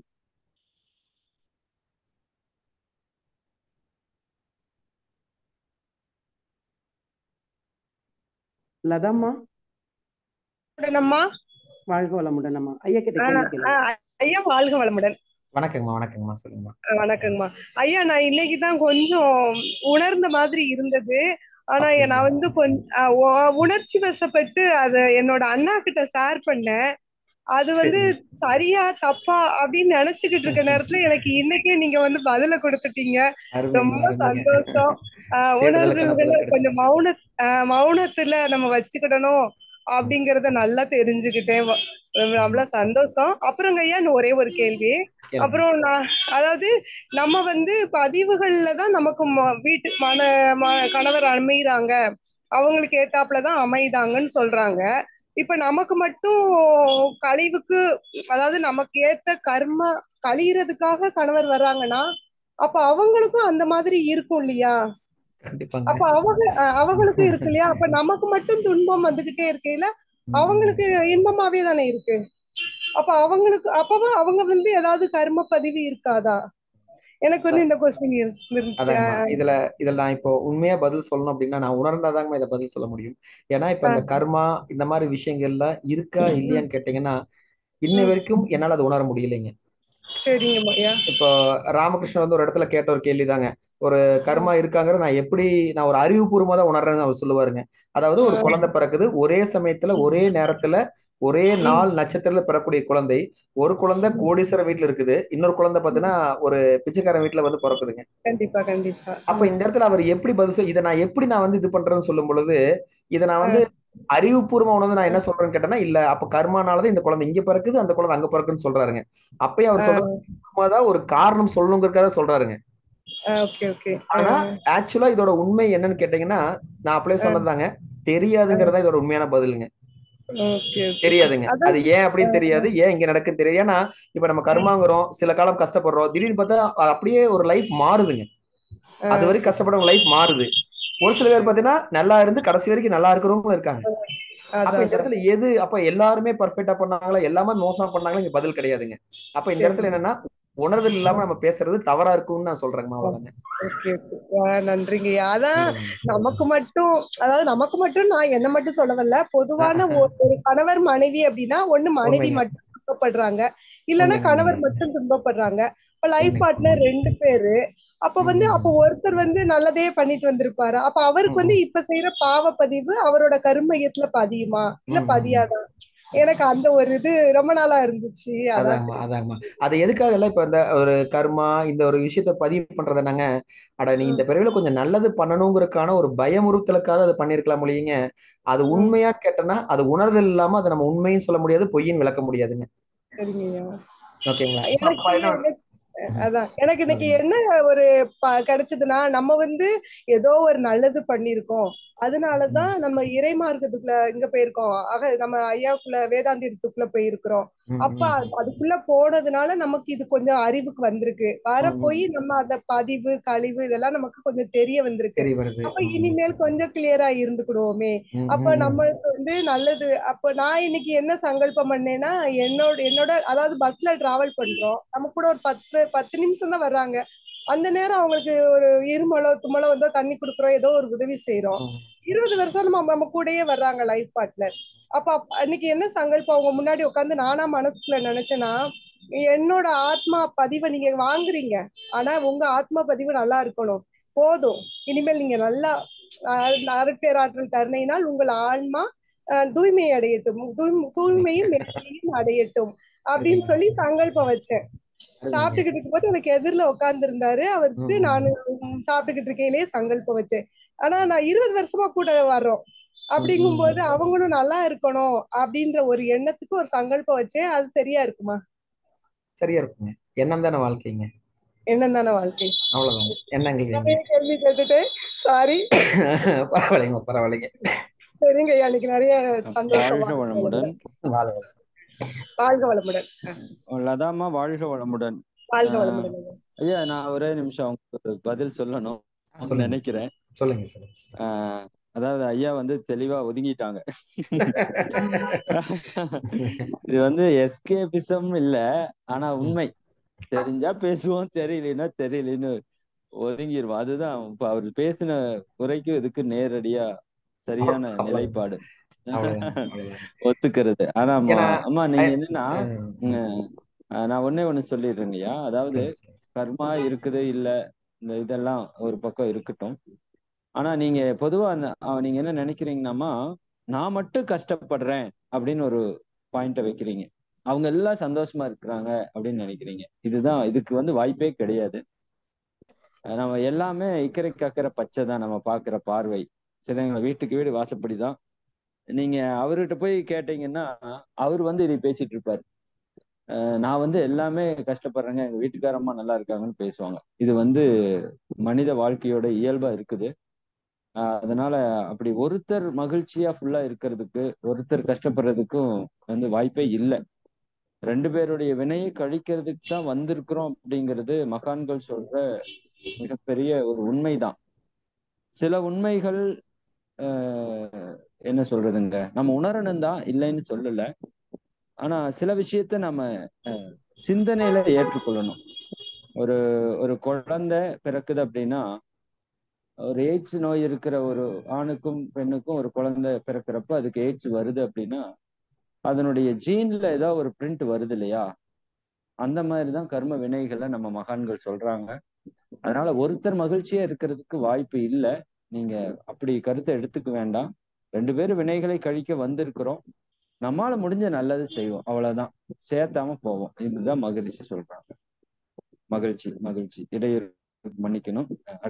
வாழ்க. நன்றி. நன்றி. மிக்க நன்றி அம்மா. வாழ்க வளமுடன். அடுத்ததாக அமிர்த ஜோதி அம்மா அவர்கள். ஐயா வாழ்க வளமுடன் ஐயா. ஐயாவோட இன்னைக்கு உரை வேற ஒரு பரிணாமத்துல இருந்து வந்த மாதிரி உணர்ந்தேன் ஐயா நிச்சயமா இவ்வளவு ஒரு உணர்வான ஒரு சிறப்பான இதை கேட்டதுக்கு ரொம்ப பாக்கியம் செஞ்சிருக்கணும். மகரிஷிய சொல்லியிருப்பாரு சோதிப்போர் புலனறிவால் என்னை காணார் சுயநிலையை அகத்துணர்வ அவர் நான் ஒன்றே அப்படின்ட்டு. அப்ப அந்த அகத்து உணர்ந்தால்தான் நம்ம வந்து எந்த எந்த பொருளோ எந்த இதனோட மெய்யையும் தெரிந்து கொள்ள முடியுங்கிறது தெரியுது. ஒரு சின்ன சம்பவம் நீங்க சொன்னதை வச்சு இந்த அரசியல் க- தலைவர்கள் இப்படி ஒரு இதுல மயக்கத்துல இருக்காங்களே அதுக்கு எங்க வீட்டுல ஒரு ரெண்டு நாளைக்கு முன்னாடி நடந்த ஒரு சம்பவம். வீட்டில் ஒரு நல்ல சந்தோஷமான ஒரு விருந்து நடந்துகிட்டு இருந்துச்சு. எல்லாம் சந்தோஷமா பேசிட்டு இருந்தாங்க. இந்த அரசியல்னு பத்தி பேச ஆரம்பிச்ச உடனே அது எங்க இருந்து இப்படி ஒரு தீ பத்திச்சோ தெரியல ரெண்டு பேருக்குள்ள பெரிய கான்வர்சேஷன் ஆகி அது ஒரு மிகப்பெரிய சிக்கல்ல கொண்டு வந்து விட்டுற அளவுக்கு ஆயிருச்சுங்கய்யா அது உண்மையில இந்த ரெண்டு மூணு நாளா ரொம்ப பெரிய மன போராட்டத்துல நான் விலகி. நின்று வேடிக்கை பார்க்கறேன் ஆனா குடும்பத்துல. இருக்கிறவங்க எல்லாம் அந்த ஒரு சின்ன வாக்குவாதத்தினால எல்லாருமே பாதிக்கப்படுற அளவுக்கு ஆயிருச்சு அப்ப அந்த மயக்க நிலையில இருந்து எப்படி இவங்கெல்லாம் வெளியே வர வரப்போறாங்க? எப்படி இதை வெளியே கொண்டு வர்றதுங்கிற மிகப்பெரிய ஒரு ஒரு பொறுப்பான இடத்துல நம்ம இருக்கோமோங்கிற மாதிரி கூட தோணுதுங்கய்யா அதாவது எங்க வீட்டுல மட்டும் இல்ல சுத்தி சமுதாயத்திலேயே அந்த மாதிரி தானே போயிட்டு இருக்கு. அப்போ உங்களை இந்த மாதிரியான உரைகளை எல்லாரும் கேட்குறப்போ கண்டிப்பா அந்த மெய்ப்பொருளை உணர்றதுக்கான அந்த சிந்தனையாவது அவங்களுக்குள்ள போகும் அப்படின்ட்டு எனக்கு தோணுதுங்கய்யா ஆஹ் ரொம்ப சிறப்பான உரை அட்லீஸ்ட். நம்மளாவது அதை பத்தி யோசிக்கிறதுக்கான ஒரு வாய்ப்பா. இருந்தது ரொம்ப. நன்றிங்கய்யா வாழ்க நன்றிங்க. வளமுடன் வாழ்க வளமுடன். மிக்க நன்றி அம்மா வாழ்க வளமுடன் அடுத்ததாக கூகுள் அவர்கள்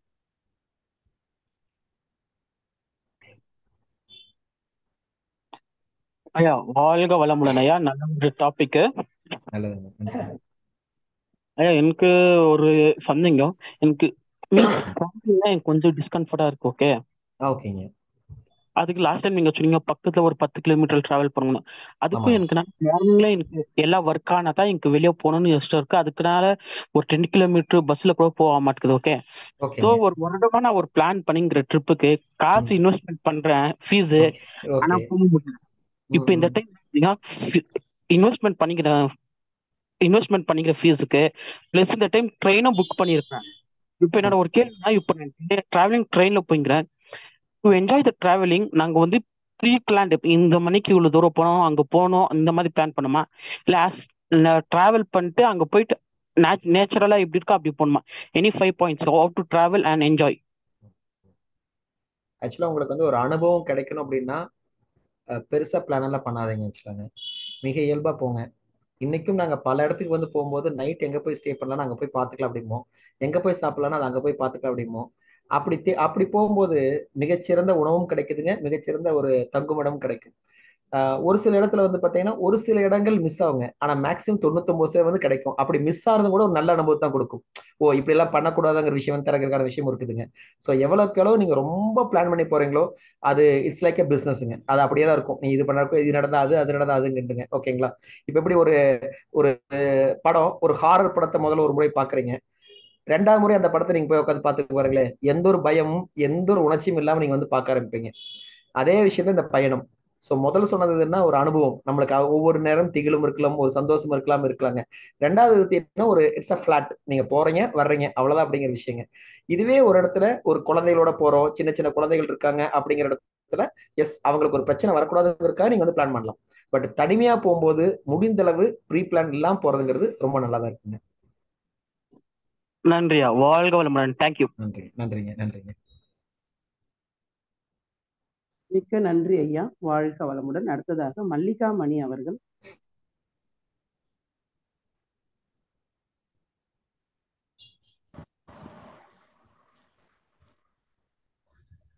அம்மா ஐயா கிட்ட பேசுங்கம்மா. ஆ வாழ்க்கை வளமுடன் ஐயா. வணக்கம். சூப்பரா இருந்துச்சுங்க.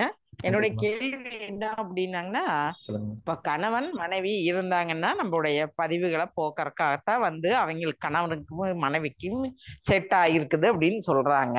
இப்ப கணவனோ மனைவியோ இல்ல அப்படின்னா அந்த பதிவு எப்படி இது பண்ண முடியுமா? இருக்கா இல்லையா? இது இது நான் போன கேள்விக்கு அதாங்க பதில் சொன்னேன். உணர்தல் இல்லாம நான் பேச மாட்டேன்னு சொன்னேன். ஐயா மதன் ஐயா வந்து ஒரு விஷயம் சொல்லிட்டு போனாருங்க. வேற இந்த கேள்விக்கு மதன் ஐயா கூப்பிட்டுக்கலாம். கூப்பிட்டு சொல்ல சொல்லுங்க. ஐயா மதன் ஐயா இருந்தா பதில் அம்மா சொல்லுங்க ஐயா. கணவரோ மனைவி கணவரோ மனைவியோ இருந்தா ஒரே ஆளே வச்சு செஞ்சுவாங்க. இல்லாட்டி வரவன் போறவனுக்கு தெரியாங்க என்ன கஷ்ட கர்மா கழிக்க முடியுமோ கழிச்சிட்டு போயிடுவாங்க. அவ்வளவுதான். நாலு குடும்பத்துக்கும் நடக்கணுமா? பொதுவா நடக்கணுமாங்கிறதா? ஏதோ ஒரு விதத்துல நடக்குமா? அது ஒரு ஒரு கல்லு கூட உங்க தள்ளு தட்டி விட்டு உங்க காலை காயப்படுத்தலாம். அது வந்து மகான்கள் என்ன சொல்றாங்கன்னா கல்லுக்கு தட்டி விடுற தேவை ஒண்ணும் இல்ல.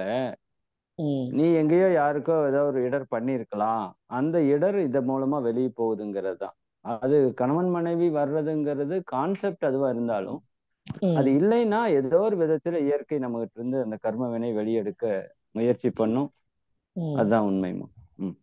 ஓகேங்க வாழ்க்கொளமுடன் ஓகே வாழ்க வளமுடன் வாழ்க நன்றி அம்மா. வாழ்க வளமுடன். அடுத்ததாக ஆர்பி லதா அம்மா அவர்கள்.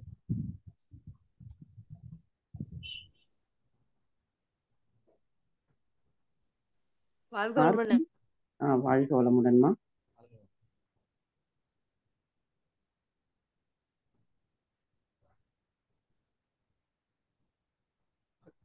கேக்குதுங்களாம்மா? கேளுங்கம்மா. ஐயா கேளுங்க. ஆமா ஒரு முறை மட்டும் டச் பண்ணுங்க. ஆ சரிங்க ஐயா. இல்ல இல்ல அவங்கள. கேக்குதா? வாழ்க வளமுடன். இப்ப நீங்க சொல்றீங்க தானே நாங்க இப்போ வெயிட் பண்ணுங்கன்னு சொல்றீங்க. இப்ப சாதாரணமா ஒருத்தர் முக்கியமான ஒருத்தர் இப்ப ஒருத்தருக்கு தொழில் இல்லைன்னா அந்த தொழிலுக்காக சில நேரம் க- அவங்க வந்து வெய் இந்த வெயிட் பண்றாங்கன்னு வைங்களேன். இப்ப தீபா அவங்க இப்ப தவம் செஞ்சோ ஏதோ எனக்கு இந்த இது செய் கிடைக்கணும்னு நினைச்சு வெயிட் பண்றாங்க. வெயிட் பண்ணக்குள்ள அவங்க எவ்வளவு இப்ப அவங்களுக்கு முக்கியமா அவங்களால தான் அந்த ஒரு வீடும் ரன் ஆகுதுன்னா அவங்க எவ்வளவு காலம் அப்படி வெயிட் பண்ணுவாங்க வேண்டிய அவசியம் வரும் அப்படின்னா? இது நான் பேசும்போதே சொன்னதாங்கம்மா. உங்களோட முழு கடமையை நீங்க வந்து செஞ்சுக்கிட்டே தான் இருக்கணும் காத்திருக்கணும். ரெண்டுமே ஒரே ட்ராக்ல நடக்கணும்னு நான் சொல்லியிருந்தேங்க. அதுக்கு அந்த எக்ஸாம்பிள் தான் நான் வந்து அரிசி போட்டு தண்ணி ஊற்றி உங்களோட கடமை அனைத்துமே பண்ணதுக்கு அப்புறம் தான் வெயிட் பண்ண சொல்லியிருக்கோம். நான் இதுல ஏதோ ஒன்று மிஸ் ஆயிட்டு நான் வெயிட் பண்ணாலும் அது கடைசி வரைக்கும் அதுக்கு வந்து கிடைக்காதுங்க வச்சுக்கோங்க எவ்வளவு நேரம் வெயிட் பண்ணுங்கிறது அது வந்து அந்த சோறு வந்து அந்த அரிசி வந்து சோறாகிறதுக்கான நேரம் என்பது அது எல்லா பக்கமே நடக்குங்க வச்சுக்கலாங்க அந்த நேரத்தை நான் வெயிட் பண்ணி தான் ஆகணும். ஆனா நிறைய இடத்துல மனமுடைய இடமிடமிடம் அந்த இடம் தாங்க இது இன்னும் நடக்கலையே இன்னும் எனக்கு ஆகலையே இன்னும் சரியாகலையேங்கிற இடத்துல தான் பார்த்தீங்கன்னா நிறைய மனிதர்கள் பார்த்தீங்கன்னா மனம்ங்கிற பிரச்சனை போய் மாட்டிக்கிறாங்க. பட் நான் என் மனசுல வந்து முழுசா கடமை பண்ணியிருக்கேன். கண்டிப்பா எனக்கு நல்லது நடக்குங்கிற எண்ணத்தில் நீங்க இருக்கும் பொழுது அது மிக சீக்கிரமா உங்களை சேர்ந்து சேருங்க. அதே இடத்துல நான் கடமையெல்லாம் பண்ணிட்டேன். வருமோ வராதோன்னு நினைச்சீங்கன்னா வரும். ஆனா அதற்கான கால அவகாசம் கொஞ்சம் அதிகமா எடுத்துக்கலாங்க. நன்றிம்மா நன்றிங்க. மிக்க நன்றி அம்மா. வாழ்க வளமுடன். அடுத்ததாக பத்மாவதி அம்மா அவர்கள். ஐயா வணக்கம். வாழ்க வளமுடன். வழக்கம் போல உங்க ப்ரோக்ராம் எப்போ வரும் நாங்க எதிர்பார்க்கிற ஒரு ஆன்மா நீங்க. நீங்க சொன்ன விஷயங்கள் நிறைய உள்ள டெப்தா போய் போனாங்க ஐயா. நிறைய விஷயங்கள். ஒண்ணு உணர்ந்துதான் நாம் அதைய உணர்ந்தாதான் உண்மையா இருக்குங்கிற ஒரு விஷயம். ரெண்டாவது இது சொன்னீங்க. எக்ஸ்பிளைன் பண்ணி சொன்னீங்க. அதாவது ஒரு செடியை நெட்டி வைக்கிறோம். அதுக்குண்டான எல்லாத்தையும் பண்ணிட்டு வெயிட் பண்ற அது நம்ம சந்ததியும் கடந்து அதுக்கு பலன் கொடுக்கும்னு சொன்னீங்கல்ல அது வந்து உள்ள டெப்தா போய் பார்க்கும்போது அதோடைய அர்த்தமே வேற மாதிரி வருது. அருமை. இப்ப நீங்க லாஸ்டா இந்த அம்மா நான் இதுக்கு முன்னாடி பேசினவங்ககிட்ட சொன்ன மாதிரி அதாவது நம்ம செய்ய வேண்டிய கடமைகள் எல்லாம் சிறப்பா செஞ்சுட்டு அதுக்குண்டான வர ஆன்மீக இன்க்ளூடிங் அதையும் நான் சேர்த்து தான் சொல்றேன். முக்தி நிலைங்கிறது கூட நம்ம கடமைகளை செஞ்சுட்டு முறையா நாம எதுக்கும் எதிர்பார்க்காம அமைதியா நம்ம கடமைகளை மட்டும் கரெக்டா செஞ்சு நம்ம செய்ய வேண்டியது கரெக்டா செஞ்சா இறைநிலை எங்க கொண்டு போய் உட்கார வைக்குமோ அந்த இடத்துல உட்கார வைக்கும். அது வரைக்கும் வெயிட் பண்ணும். எப்படி ஒரு குழந்தை வந்து முதல்ல பிறந்து குப்புற விழுந்து தவழ்ந்து எந்திரிச்சு நின்னு நடந்து அப்புறம் தானே எல்லாமே இயல்பா நடக்குது. நாம குழந்தை பிறந்த குழந்தை பிறந்த உடனே நடக்குமா நடக்குமா? எனக்கு கல்யாணம் பண்ண முடியுதா முடியாது இல்லைங்களா? அது மாதிரி நீ நீங்க சொன்ன விஷயம். அருமைங்க அருமைங்க ஐயா. ரொம்ப சிறப்பு. நன்றிங்க ஐயா. வாழ்க வளமுடன். நன்றிம்மா. வணக்கம். ஐயா. வாழ்க வளமுடன். மிக்க நன்றி அம்மா. வாழ்க வளமுடன். ஐயா வாழ்க வளமுடன் ஐயா. இன்னைக்கு உங்களுடைய உரை வந்து ரொம்ப சிறப்பா இருந்ததுங்க ஐயா. நாங்க வந்து மனவளக்கலைக்குள்ள வந்து அமைதி ஏற்றுக்கொள்ளுதல் கடமையை செய்தல் சும்மா இருத்தல் அப்படின்னு தெரிஞ்சுக்கிட்டோம். ஆனா காத்திருத்தல் என்ற ஒரு பெரிய ஒரு தத்துவத்தை இன்னைக்கு உங்க மூலமா தெரிஞ்சுக்கிட்டோங்க ஐயா. ஏன்னா எல்லாத்துக்கும் வெயிட் பண்றோம். ஆனா அது எந்த டைம் வரைக்கும் வெயிட் பண்ணணுன்றது இன்னைக்கு உங்களுடைய உரையில இருந்து நாங்க தெரிஞ்சுக்கிட்டோங்க ஐயா. ரொம்ப சிறப்பா இருந்ததுங்க ஐயா. ஐயா அப்புறம் இன்னொன்னு இப்ப நாம இந்த பிறவி எடுத்ததே வந்து போன பிறவியோடைய கர்மாவை கழிக்கிறதுக்கு தான் அப்படின்னு இது நாள் வரைக்கும் நாங்க தெரிஞ்சிருக்கோம். ஆனா இப்ப நீங்க வந்து கர்மா அப்படின்னு ஒண்ணு இல்லை அப்படின்றீங்க இல்லைங்களா? அது இல்ல இல்லைன்னு நான் சொல்லலைங்க. நான் ரொம்ப தெளிவா என்ன சொல்றேன்னா இப்ப நான் வந்து பாத்தீங்கன்னா பல புத்தகங்கள் படிச்சேன். இப்போ வந்து ஒண்ணும் இல்லைங்க. இப்ப நம்ம வேதாத்திரியோட சில விஷயங்கள் பார்த்துருக்கோங்க. தென் ராமகிருஷ்ணரோட விஷயங்கள் படிச்சிருக்கோங்க. இன்னொரு பக்கம் புத்தரோட விஷயங்கள் படிச்சிருக்கோம். ஓஷாவோட விஷயம் படிச்சிருக்கோம். மகாவீர் இப்ப எல்லா விஷயம் படிக்கிறேங்க. இப்ப எல்லாம் படிச்சனால மட்டுமே நம்மளுக்கு அந்த தெரிஞ்ச விஷயம் பேச முடியாது. இன்னும் சொல்ல போனா நம்ம வந்து கர்மாவை மூணு கர்மா ஆகாமிய கர்மா பிரிக்கலாம் நிஷ்காம கர்மா பிரிக்கலாம். அந்த கர்மாங்கிறது எப்படி வந்து வினையாற்றுறது அப்படின்னு எடுத்தோம்னா அது ஒரு ஒரு பாட புத்தகம் மாதிரி தான் படிக்கிற மொழிய உணர்தல் அப்படிங்கிற விஷயம் எங்கேயுமே இல்லைங்க வச்சுலாங்க அப்போ உணராம நம்ம வந்து பேசுறது தவறா இருக்குங்கிறத நான் சொல்றேன் கர்மா இல்லைன்னு சொல்லுங்க. நான் இப்ப சொன்னா கர்மா எனக்கு இருக்கா இல்லையான்னு தெரியலங்கிறேங்க. அப்போ இருக்கு அதாவது அறிவுபூர்வமா சொன்னா விளக்க முடியும். ஆமாங்க பாருங்க இது இப்படிதான் இருக்குதுங்க இது இப்படிதான் இருக்கு. அப்ப கர்மா தானே அப்படி அந்த ராமகிருஷ்ணன் சொன்ன எக்ஸாம்பிள் தான். இந்த குழந்தைய எங்க பிறக்கணும் இந்த குழந்தைய எங்க பிறக்கணும். அப்ப வந்து கர்மா தானே அது இருக்கிறனால தானே இப்படி பிறக்குன்னு சொல்லாங்க. ஆனா இது வந்து உண்மையான்னு கேட்டோம்னா சத்தியமா அது எனக்கு தெரியாதுன்னு தான் சொல்ல முடியுங்க. நான் உண்மைன்னு சொல்ல பொய்ன்னு சொல்லுங்க.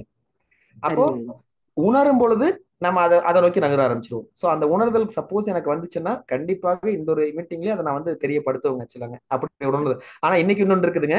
எனக்கான உணர்தல் தான் உங்களுக்கான உணர்தலா இருக்குமா அப்படிங்கிற விஷயமும் அங்கேயும் ஒரு கேப் இருக்குதுங்க. சரிங்க சரிங்க.